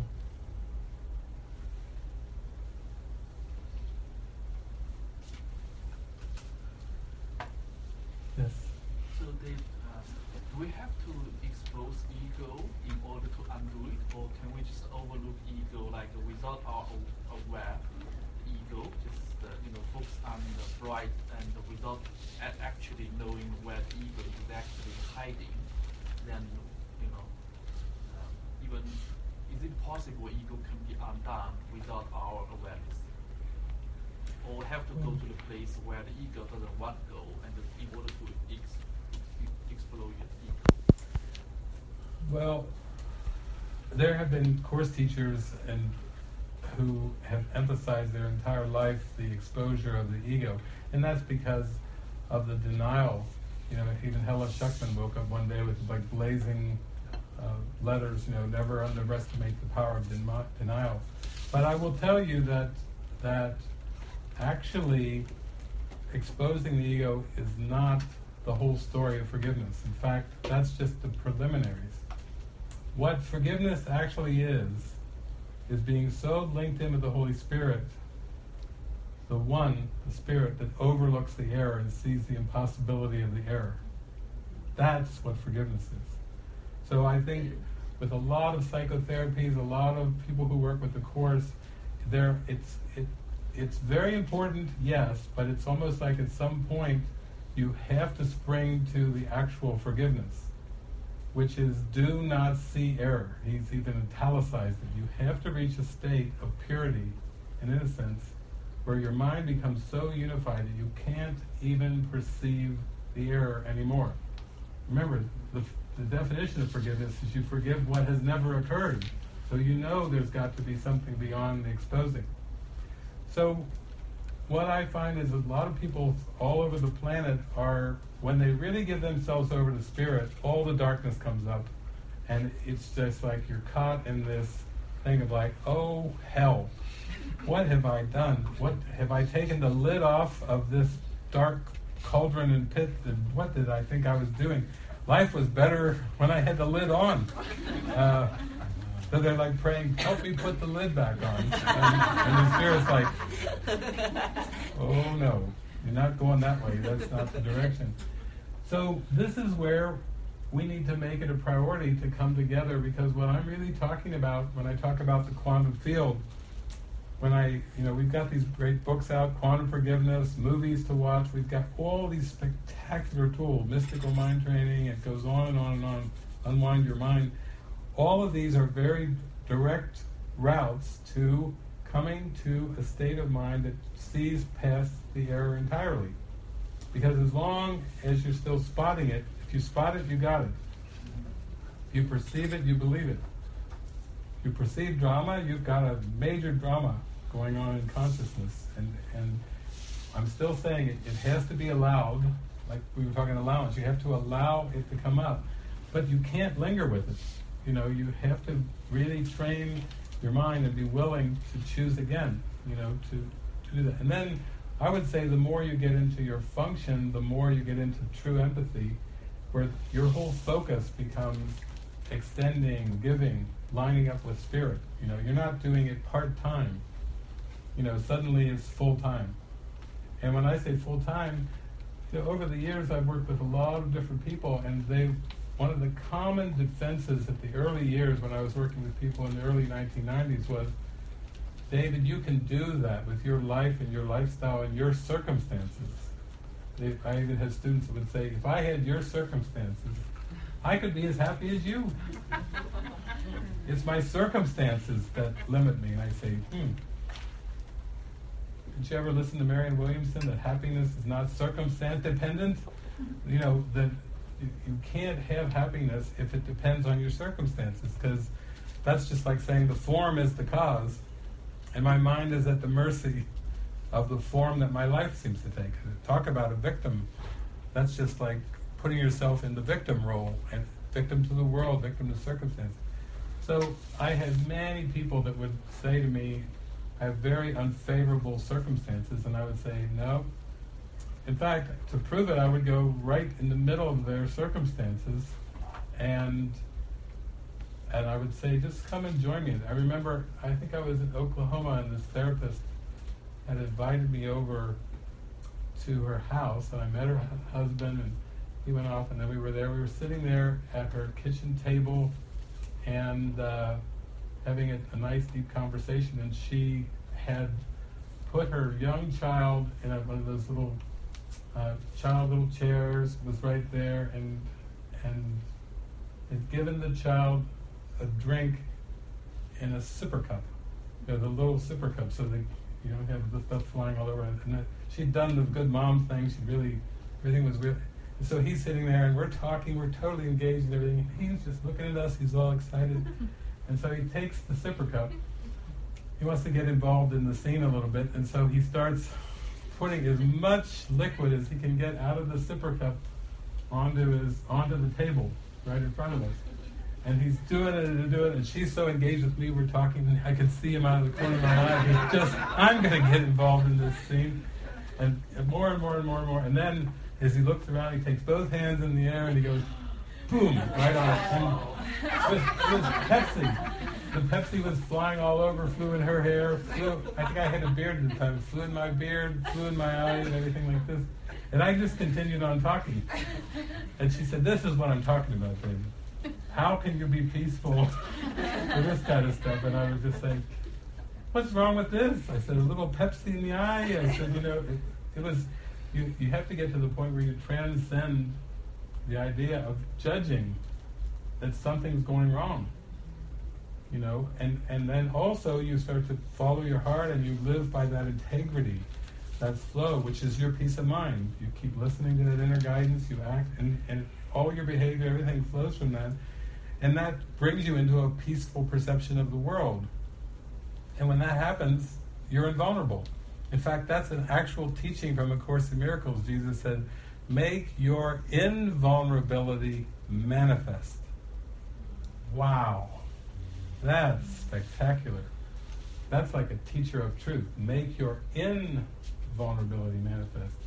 How many teachers have we heard and people that work with healing and everything where they're always emphasizing be vulnerable, be mm-hmm. vulnerable, be vulnerable. And then here comes the teacher of truth saying make your invulnerability manifest. So there's two parts. One is don't hide and protect and push those in those those vulnerabilities down and pr- try to pretend oh it's all nice, all sweet, everything's hunky dory, pretend, pretend. You do have to expose, but also to keep in mind, wow, I have a function here. My function is to join with my brothers and sisters. My function is to extend this feeling of love that I have that wants to just expand and extend, and let those situations and opportunities come in. Because in the end, life is not linear at all. It's this whole cosmos is holographic, and this whole cosmos is a reflection of consciousness. So, as Jesus says, if you want only love, you will see nothing else. It's back to that what is my desire? Let thine eye be single. Let my heart be purified. Let my devotion be singular. If you go for that, wing, the whole universe is going to change. Because it has to. Because the mind is that powerful. You cannot be held back. So it's like a two part thing. You know, I when people are talking, you know, at the monastery, I mean, a lot of groups I've led and sessions, people have all kinds of emotions come up. Screaming, shouting. Yeah, one day at the monastery, you know, Lisa and I were there and we heard all this screaming and screaming, blood curdling, screaming, screaming going on. And Lisa looks at me and she said, Who died?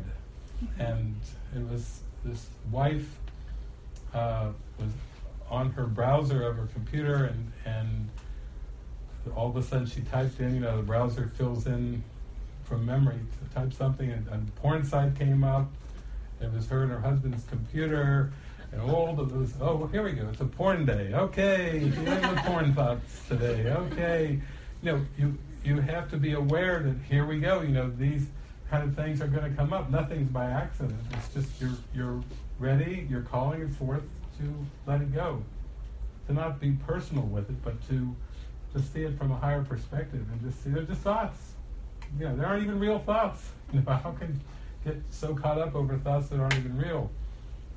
Uh, I was mentioning that recently, that example too. I was in Australia and I was like doing a, a week long retreat, I think in Noosa years ago, and some man came, I can't remember his name now, but he came in the middle of the week and he's like, Could I please come in? And I wanted to be part of your expression sessions and no people pleasing. And I, I opened it up to the group because you know they're all there for a week retreat, and they said, "Come on, let him in. Come on, David, let him in. Let him in." Said, "Okay, come on in." He comes in, he starts right in the next day with all his pedophile thoughts, um, exposing all of his pedophile thoughts. Well, I had mothers and everything coming up for counseling, and it was just, you know, again for the healing, it's just thoughts. But when we give reality to those thoughts, that's where the guilt comes in. God didn't create any of them. God wants us to know our perfect innocence, but we have to, as long as we push thoughts out of awareness, we believe they're real we believe they're dark, and we believe they have to be hidden. But the atonement is underneath those hidden dark thoughts. We're not going to get to the atonement unless we allow those dark thoughts up too. So, so it's again to use the word Rick brought up, allowance. There has to be a huge allowance in this healing process. And when we have that huge allowance, we, we are with the Spirit. We can handle anything. We, we cannot be stopped. We cannot be held back.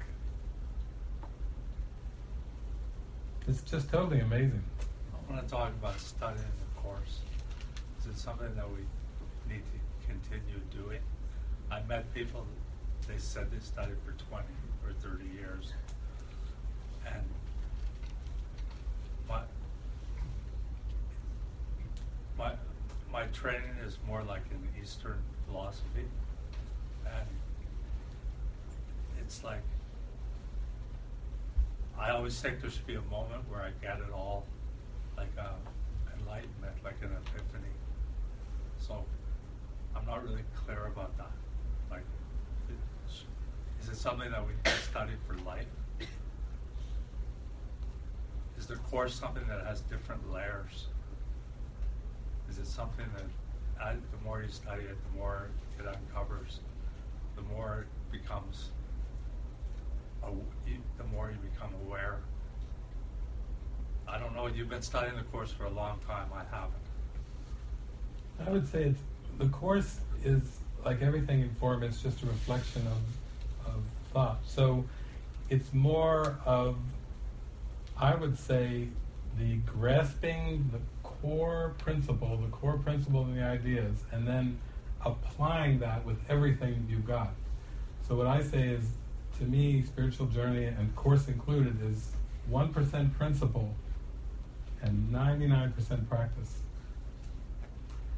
Now, the study of A Course in Miracles is just mainly, the, the text will say, is mainly to zoom in on that principle. Because there have been legendary teachers of the Course that have still struggled with that 1%. They still got caught up in lawsuits, they still got caught up in attack and defense, and lots of things because they didn't fully grasp, they still had a distortion of level confusion and some things that are very, very important about the course. And then the 99% is the transfer of training, is taking that principle and applying it without exception. That's what the workbook is. So it's, I think, in terms of studying it, you know, I've tried to share with all the teachings and writings and books and videos and audios to really help everybody get a clear grasp of that 1%. Even if people didn't read the course and they watched a bunch of my videos and they went, "Hmm, I'm, okay, I'm, I'm zooming in on that 1%, that's a good start. Then, not make any exceptions to that principle, that core principle that there's only the mind is causative. It's all just facing your thoughts. It's not really about trying to change the form or circumstances. It's, it's really transferring the training. How has that gone in my life? My life was, yeah, right, many years of studying and practicing the course, lots of silence, pretty much a solitary journey for much of it, and so on and so forth. But now, that's just the way the parable of David went. I find the people that I meet, like Nikita and lots of the ones that I meet, they're just showing up as reflections of, like, okay, this is it, I'm going to go for this. It's not a matter of the book, it's not a matter of um, years of study. Uh, in fact, I'll get indigos and crystal children and, and a lot of young people. Uh, I had I had a young man that came to one of my course groups years ago, and he, I think maybe a teenager, maybe 18, 19, and he walked in the room. I had heard about him because the people that were hosting him at their healing center were terrified of him. He walked in and he, he walked through the store and he'd read everybody's mind in the store. And, and the owners were terrified and basically said, Come back for David's Course in Miracles group.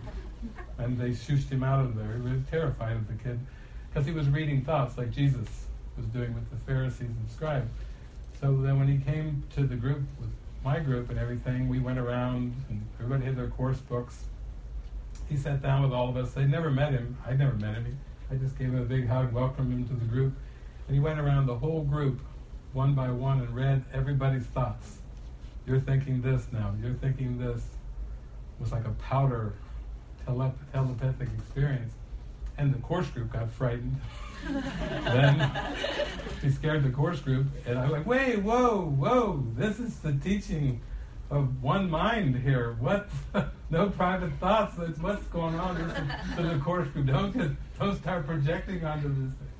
And so yet they were all, you know, shaking. And so he got up and he he went outside, but I, I knew he'd be back. And then he came back with a with a photo album of um, all these photos, filling up a photo album of him sitting out in a field with hundreds of butterflies all over his body. That's what the course group needed to know that he was okay. Anybody who sits out in the field with hundreds of butterflies on him is like, okay, this isn't spooky. You see, it's it doesn't really have anything to do ultimately with words. It comes down to what is the prayer of your heart.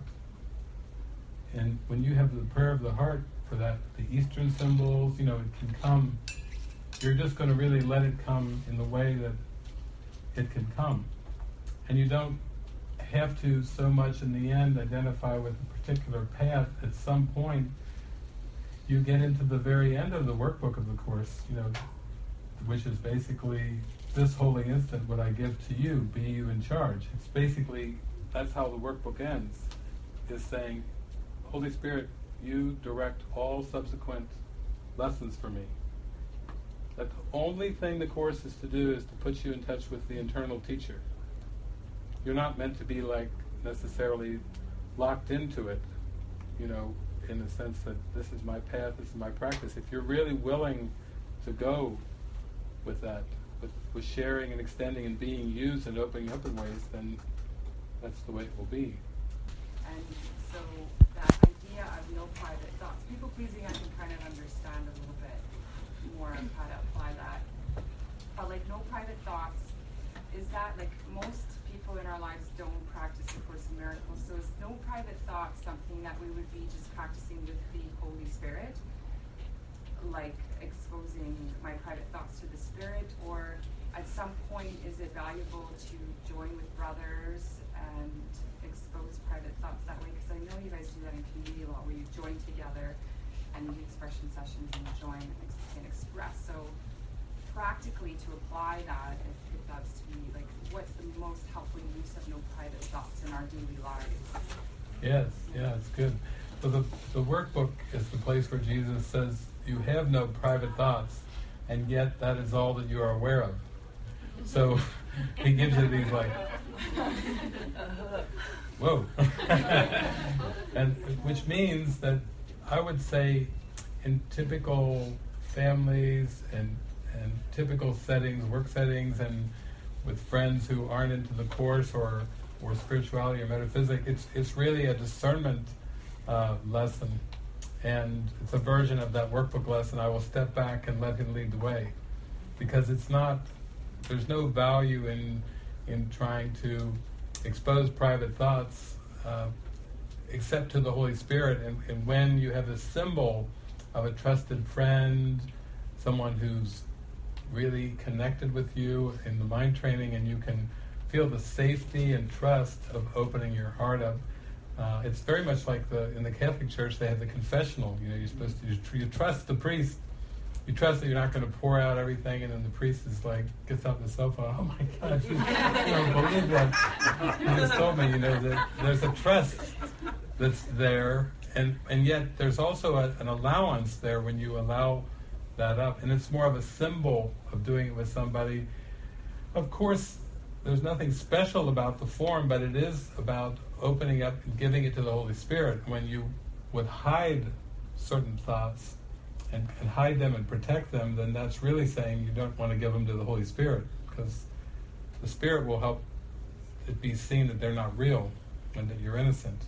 But it's kind of a step. So I think um, oftentimes if there's not a sense of community around you like that, then just with a trusted friend or maybe at like the Unwind Your Mind group, it could be open up more to an expression instead of just study, but it actually gets into expressions and practical application and sharing the miracles of, of how helpful that was.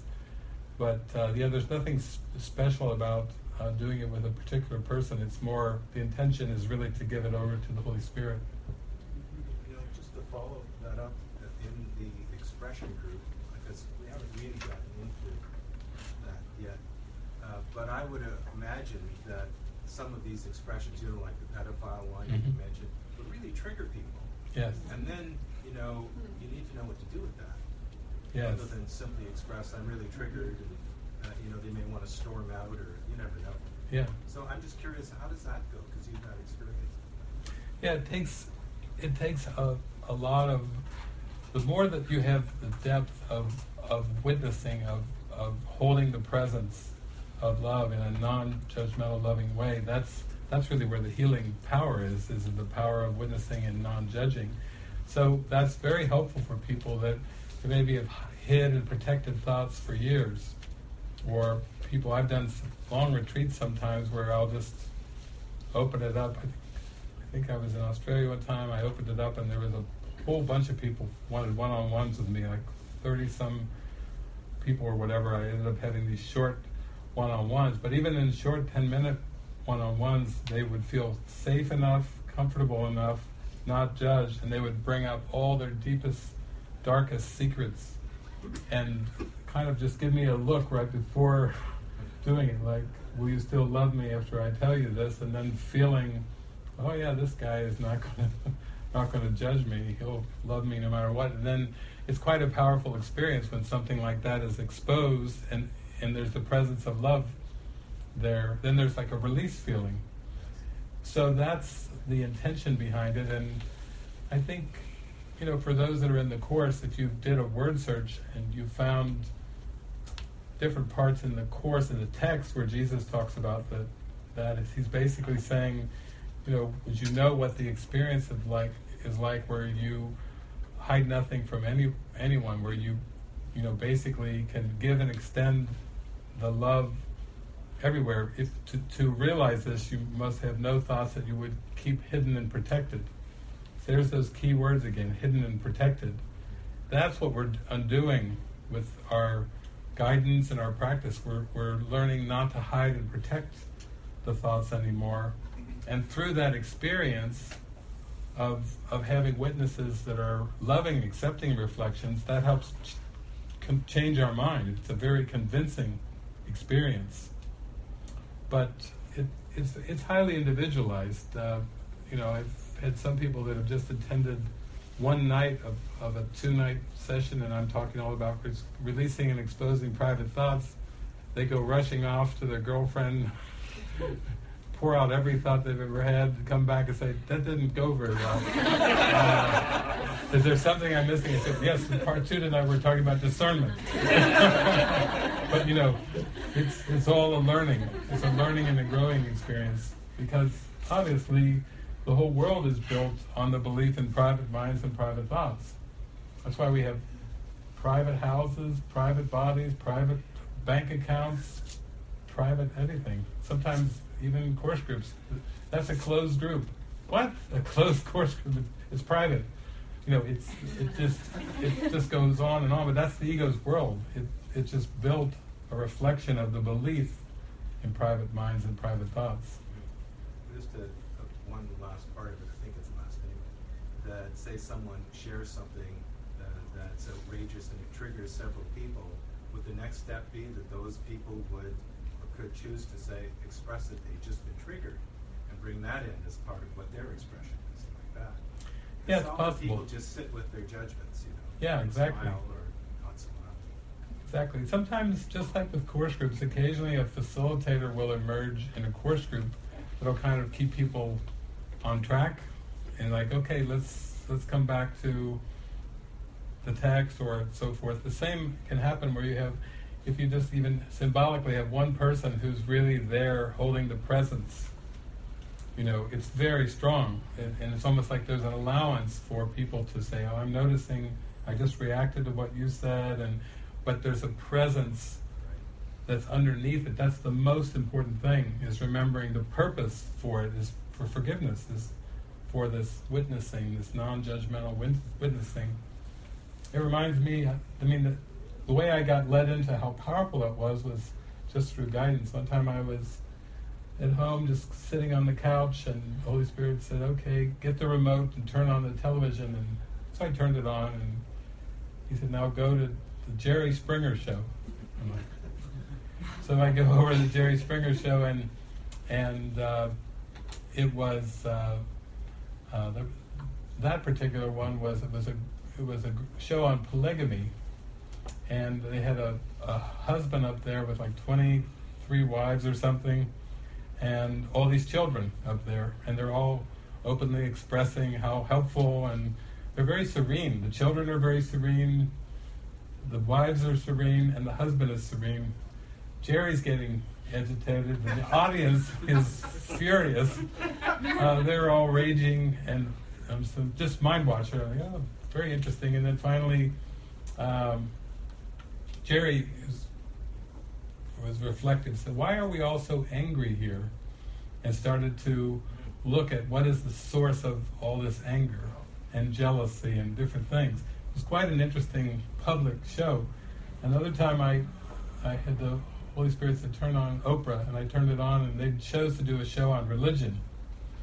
Well, they got into different religions, and and the emotions were high, and the anger started to rise, and you know even the camera started to to shake, you know, as they're like, you know on Oprah discussing religion, and then finally. Uh, some lady stood up in the audience and said, Jesus Christ is the only way to God, and if you don't follow Jesus, you're going to hell. Well, then the camera, you know, it was like throwing gasoline on the, the whole discussion. And it was, camera was shaking, and then all I could remember was doing a, Oprah going, Jesus, if you're there, help us. And then they cut to a commercial because the camera was shaking. You know, said, it's a good mind watcher. Then, when I came back for the, after that, they brought in the panel of experts, all these religious experts, and they got into it. They were like arguing and screaming and shaking fists and everything. But there was one man that was sitting in the middle of the panel who didn't say a single word, just smiled, just going like this while it, while it was all going on. And the Holy Spirit was like, "See this guy? This is." This is why you tuned this what I'm showing you. This is what it's all about. It was about not taking a stand, not taking a side, not getting caught up in theology, you know, all the things that happen with theologies and religions, you know, it was it was a huge demonstration of peace of mind, like the eye of the storm. And so I, that's how I got into all this. The Spirit would, Jesus has been directing the show, like, do this, go here. One time I went to Vegas. The first time I went to Vegas, because I was down there with Joel and some friends recently. I'm driving across with a friend towards California, and I'm I'm just on the highway, just right near Vegas, driving, and then Jesus is like pull off. I'm like, oh, Las Vegas, pull off.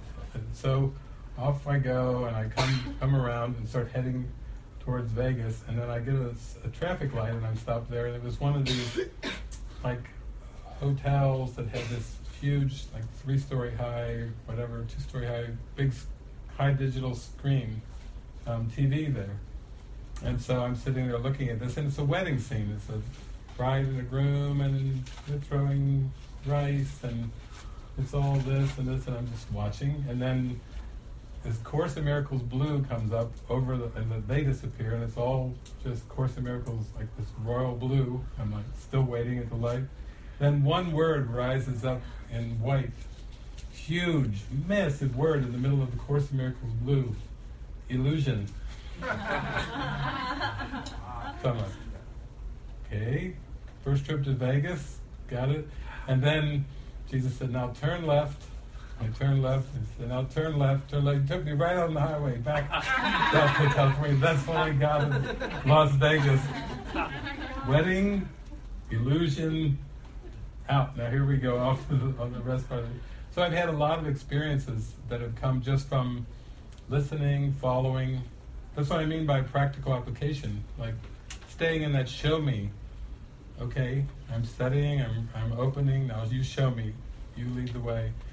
That's the way our life is meant to be, just one lesson after the next, where we're just shown. Make it obvious. Make it obvious, make it obvious. You know, that's how we're we're taken out of the perception of, a, of distortion back into that unified awareness. It's just like that movie LA Story. Yeah, it is. Love that. That was that's in my movie LA watchers. Story movie. Yeah. Right there. I think I, I'm thinking lately. I think I think I should do a, a music lover's guide to enlightenment because that before the course and before the movies and even my studies in metaphysics and everything, it was the music. It was like God singing to me, you know, just. And then lately getting a an Apple subscription where you can just go on there and you're in mood for a song, whatever it is, and Spoonful, or uh, you can go right and boom, there you've got it.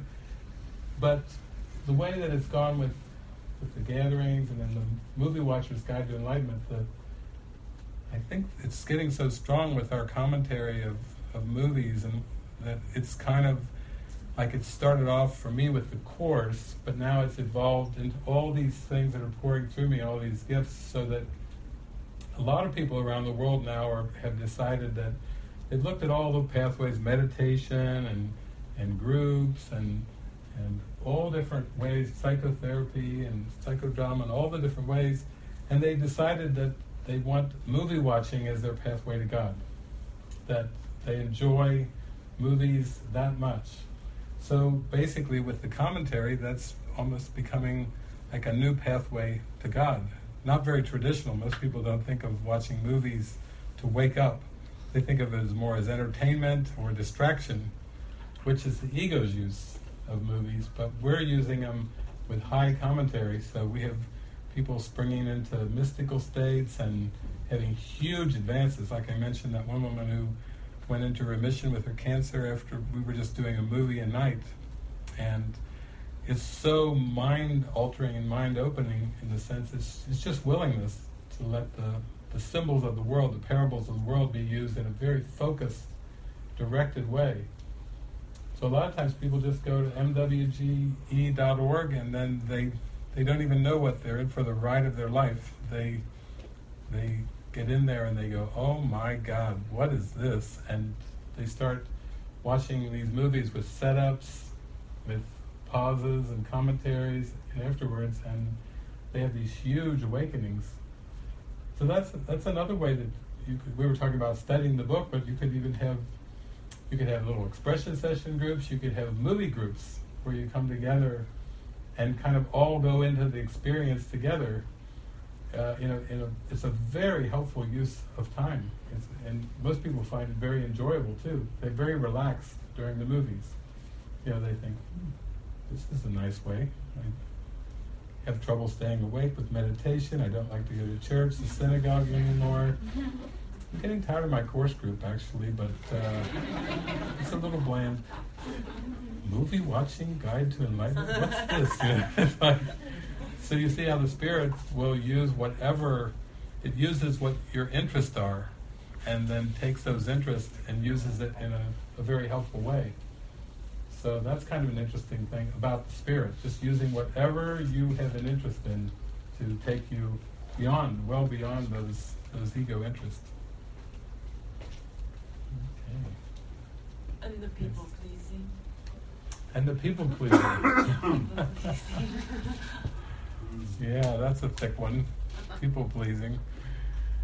Well, it's it's part of the, the social kind of seeming interactions where the ego set up the world where it was shaky about its identity. So the, uh, you might say that the identity was completely blocked from awareness and then dispersed throughout the cosmos. So it's like six billion aspects of yourself out there, which can get pretty confusing. And there's oftentimes an ego sense of wanting to use people and relationships as part of holding on this false concept. So Jesus talks about that, I think, in lesson 50. Um, I am sustained by the love of God. He says, in this world, you are you are believe you are sustained by everything but God. And he mentions um, being liked in there, and he mentions knowing the right people. That's an interesting expression from Jesus as defenses against the light. Being liked and knowing the right people. It seems like such a common thing. Of course, I want to be liked. Well, that believing that, that your identity is based on being liked by other people is, is a part of the whole ecosystem. And knowing the right people, you can see with fame and different associations of money, fame, different sex appeal, all these things, the ego is trying to prop up an identity based on that as well. So the answer is always getting deeper into your purpose and your function, which we were just talking about earlier, your passion, your calling, where there's that strong feeling of, of what it is that you have to give and to extend, and then it draws the mind away from those other kind of uh, affiliations and associations. It's very freeing. So then you're, you notice, it's it brings an end to self-deception. You know, you don't have to try to distort the truth. You don't have to try to stretch anything. You don't have to try to play to the crowd or, you know, how it gets in those seeming interdependent relationships where you're walking on a fine line, uh, trying to keep the balance of give and take, and you're wanting to get into that give, that true giving, which is from your heart, which washes away those other prompts. You don't need to, oh, I need this affiliation with these people or these churches or these friends or whatever. And then the fear that you could lose those associations. When in fact, when you get into your purpose, lots of things may fall away. It doesn't matter. It won't matter. You look at your old Facebook and you go, well, maybe I need a new Facebook. Or no Facebook. Or no Facebook. No Facebook. right. Maybe things have changed so much. Yeah. It's not relevant anymore. It comes from, you know, the people pleasing is from that deep unworthiness. Basically, I don't want conflict. I don't want you to know who I am. I don't want you to know my, you know what I mean? And so let me, and everybody's so, you know, you can juggle in front of everybody. Everybody's got different needs, and that, that sense of like something is happening because I'm caring for some, you know, I'm directly affecting somebody's life, and ultimately it's ultimately for myself it covers this incredible rage. Anger. I'm choked. You know? And and that's what it seems to cover this kind of nicey nicey stuff trying to say the right thing to the right person so nobody gets upset and then i don't go away feeling like i you know and then the reality is i want to scream at the top of my lungs that i'm really upset that you know Yeah, yeah. and that that's not going anywhere no amount of like this is taking this rage out so far Yeah. right and somehow i use it in a creative sense sometimes i use it for the right reason that rage is a you know it's an energy i don't even look at it as rage i just know it's there Yeah. and i'm afraid of it coming out i'm afraid of myself if that rage unleashes and i'm and it, you know before it dissolves just kind of just keep it there just hang on. You'll get enlightened and get let go of this stuff. You'll get enlightened before you get angry, you know? I'll get enlightened before I get angry, because if I get angry, I don't know what's going to happen. Yeah, there's a lot of energy that, it's it's this unconscious rage that's down there, and it's so covered up and it's so buried, and with layers and layers of keep it together, keep control, wear the mask, be nice. It's just it's like inceptions. There's so many layers there that that it's almost a sign when you're giving yourself willingness to get in touch with it. You're even allowing it to come into awareness. It's a great sign that it's on its way out. If it's on its way up, then it's on its way out. When it's out of awareness and covered and buried, it's it's going nowhere fast. So um, there's a movie that you all might enjoy in terms of that, which came across my awareness a while back called Perfect Sense. And basically, this is a fantastic movie because it's this thing where during the movie there's all these pent up emotions that have been pushed out of awareness. And in the movie, these emotions come the rage, the, all the different pent up emotions come up. And not just, it starts off with a few people and then it's global. The whole planet, everyone on the Yes. planet experiences this intensity and then they lose a sense, one of the five senses, after it comes up. Then they, life, they kind of adapt, the whole world adapts and adjusts to, to life without that sense. And then here comes again, another wave of this intense, bottled up emotion, and they lose another sense. And then it goes on a little bit, adapt and adjust, then comes up again, they lose the third sense. They're like, talk about letting go. Imagine that you have this intensity that you can hardly deal with, and followed by loss of one of the senses. So then the fourth, then they have another wave that comes up, and the fourth sense is lost. And then there's been so much clearing with those four things that all this intense love and joining just comes pouring up. Just, you know, which was blocked before. Now it's been cleared out by these three emotional releases globally, worldwide, and all these adaptations that the world tries to adjust. The fourth one, there's all this love, like an immense urge for the miracle to go and shine and share and connect. And then, in the fourth sense, it's lost. And then, and that's how the movie ends. Is is the fifth sense is lost. fantastic. Perfect Absolutely, sense. yeah, Perfect perfect sense. sense. A mm-hmm. fantastic movie. Talk about a mind watcher. As the human race loses all of its senses and gets, in the end, cleared out of all of the darkness and guilt and fear, and and bursts forth into love and recognition after all five senses are gone. Talk about the spirit turning the table on the ego, where everything's backwards and upside down. It was just it's like flipping the whole world right side up.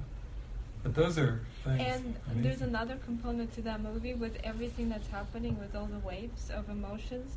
After each one, just with it's like it's obvious that there's a shift in consciousness happening. It almost like it feels like the whole world, the whole consciousness is forced into giving.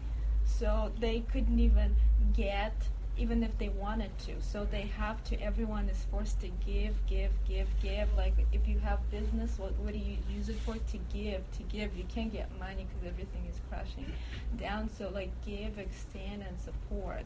And that was like like the key with that movie too.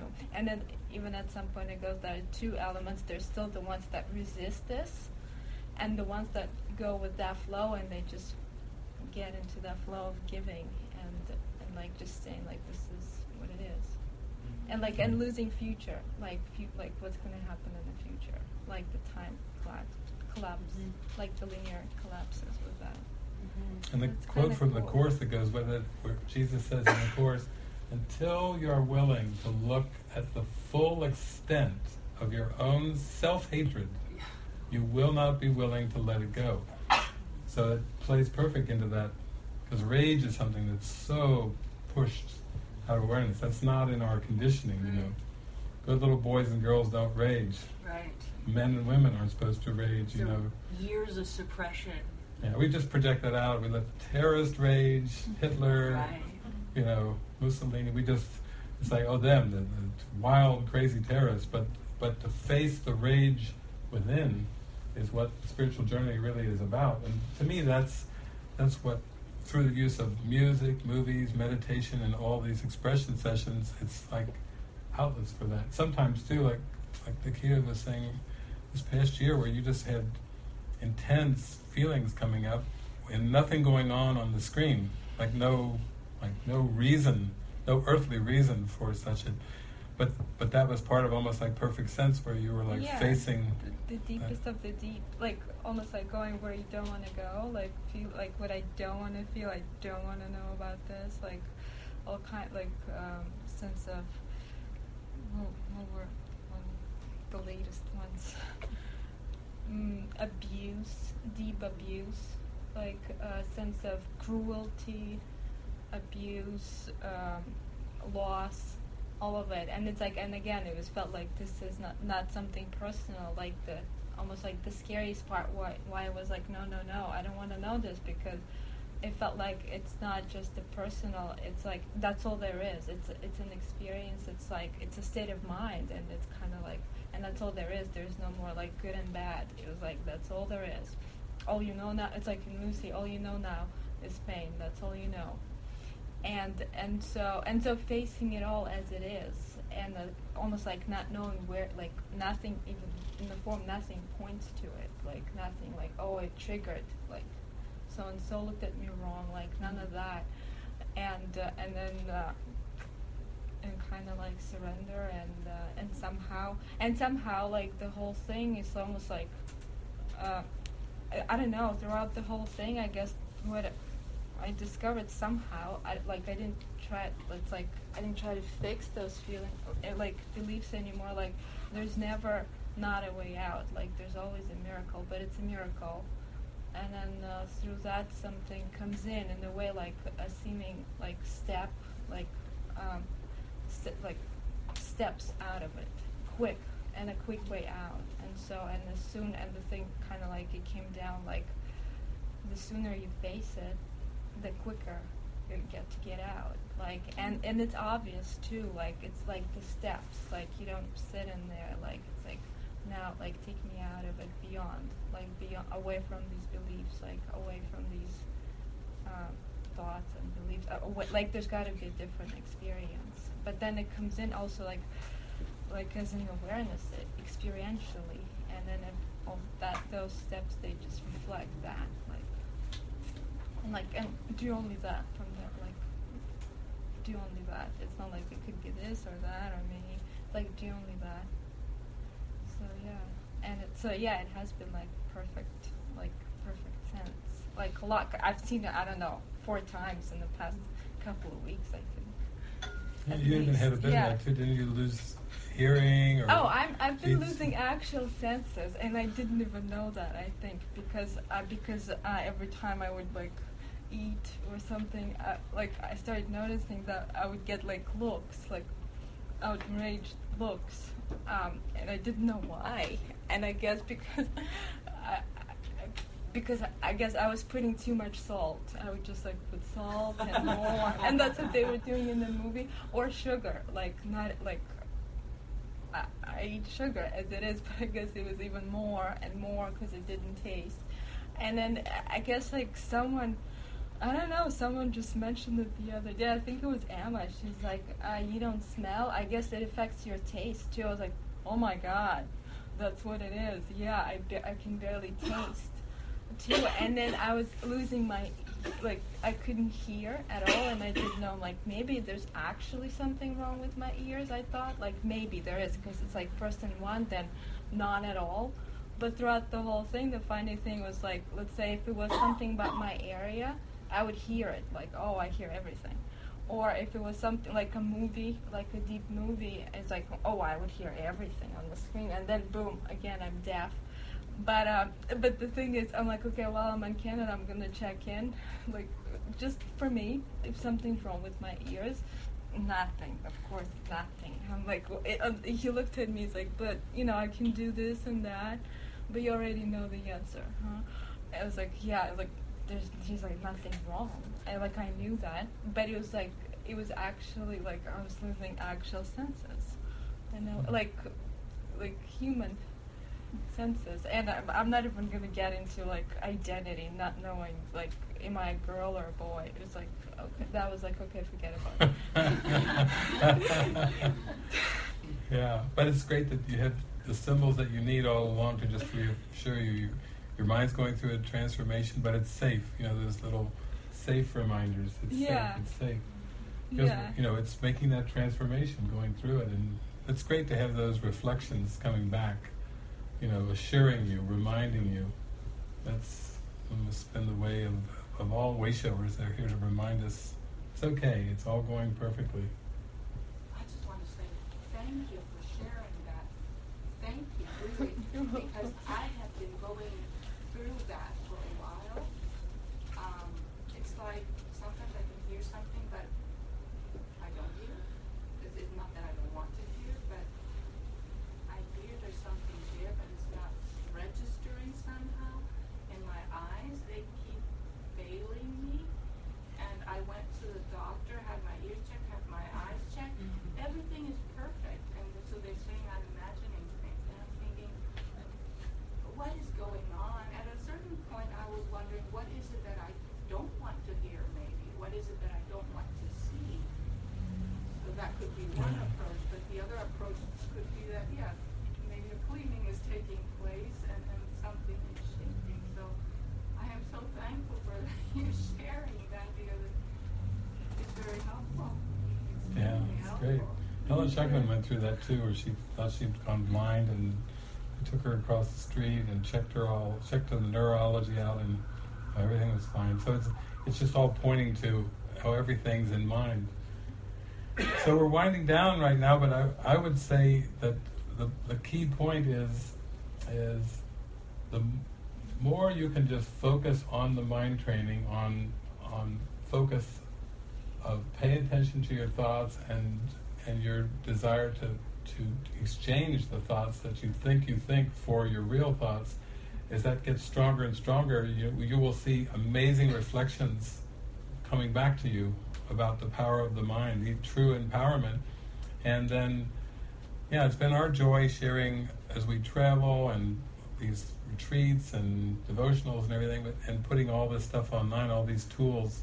There's just so many of them that could be something too. It's like you don't have to reinvent the wheel. I had kind of a very individual, solo, solitary journey lots of quiet times and contemplation and facing things. But I realized the power of the miracle is it's a very interpersonal experience. It's described that way in the course. It's it's something that you can feel a real shared collaboration with, and and then taking some of these tools and then using them, things that resonate with you. Use what works. Find something that really works for you. Extend the joy of that, and call people in. Invite people in to join you in that, and watch how it just does it of itself. The spirit will just expand that as you move along, and you know it's fun not knowing. I think we've got next year maybe a documentary coming in. We're having a, a mystery school, a four week mystery school coming in at the monastery down there in, ne- next, May. year. In a year, yeah. In a year, Jimmy Twyman is going to try to organize something with us in around Park City and maybe do something nearby in conjunction at the monastery. There's just all kinds of fun things that are just coming in, springing in just beautifully, and and it's all based on an, a warm invitation to join. Let's all join in this together. Let's turn this into a celebration of our awakening, and let's wherever there's any kind of heaviness or stuck spot, we don't have to. We're not doing this alone. You know, we're walking to the light hand in hand, and it's glorious, and we should be able to celebrate every step of the way. And and remember, Plan A is living it. You know, when you're watching your emotions, if for some reason you feel heavy or unhappy, then just realize there's so much help available. There's so much potential for joining. And it feels so good to be connected and doing this all together, like walking hand in hand doing it. And we love that. We just, we love it when we get emails, phone calls, people say, hey, I got an idea. What about this? That's the way these last 25 years of travel have gone for me. Oh, come here. Oh, the, you know, group decided here, oh, see if David can come up. And I said, yeah, why don't we do something on this weekend? And I'll be able to fly in. And it's just been really good. Nikita had a whole experience that got her up here. How many? Two weeks or I think it's been two and a half or two and a half weeks. They denied me my visa. That was her. So I had to come That was her reason for coming, and uh, but I mean, I got it. It wasn't denied. really. she used the power of her mind. I, I didn't know that they denied me. All I knew, I as far as I knew, as far as what I heard in my mind, it's a yes. Just you know, keep going. It's just one of the steps. All I knew that I got approved. That's what I heard. That's what I knew. So I just went with that. And and I was like, yeah, like, and, uh, and they were interviewing me. I'm like, they're not supposed to interview me because like it's R one. It's not like a green card. and I'm like, but I was just so open. and then and then at so- and then at some point they sent me a letter, like saying that they've originally denied me the visa, and but I didn't know, right? So I just went and I went with a yes. I'm like, yes, yes, yeah, I got it. I was approved, and here you go. And uh, and I got it. I actually got it, but it was like it was quite easy. But it's like I'm like, oh wow, I didn't know. I, I thought it was like I heard it was a yes. It's like that movie uh, Scarlett Johansson, Lucy. You know, she just goes, doesn't matter, police, immigration, detectives, or whatever. You just kind of look and you're no, really, what you're supposed to tell me is, I'm waiting. Mhm. Yes, okay, that's good. You know, it's like in Lucy, the movie Lucy. She basically, you know, can she s- sees that it's all consciousness and it's all her mind. So everything is she's unaffected by anything, and so. Yeah, this they're like, you chance. broke the rules, you know, like you broke the rules. I'm like, no, sir. It's like, really, explain. It's like, the, hmm. like just very thorough the way I heard everything. Like, say it. It's like I was just like, like hear it, just say it, and then, and then it's something like, okay, that's enough, and I'm like. I don't even know if it's a good thing or it's a bad thing, but in intuitively I feel it's a good thing because it was like, I have no hook at you. It's like there's nothing wrong, so it's like okay, It's a good excuse going. to get you up here. You had a Yeah. marvelous time up here in Canada. Yeah. Spirit can Yeah, whoosh you along.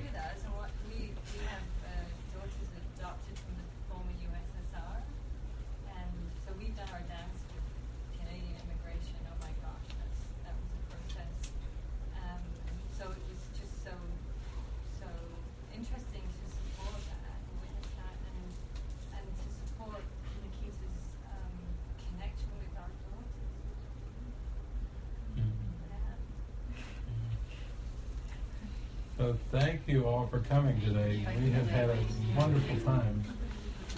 And the beat goes on.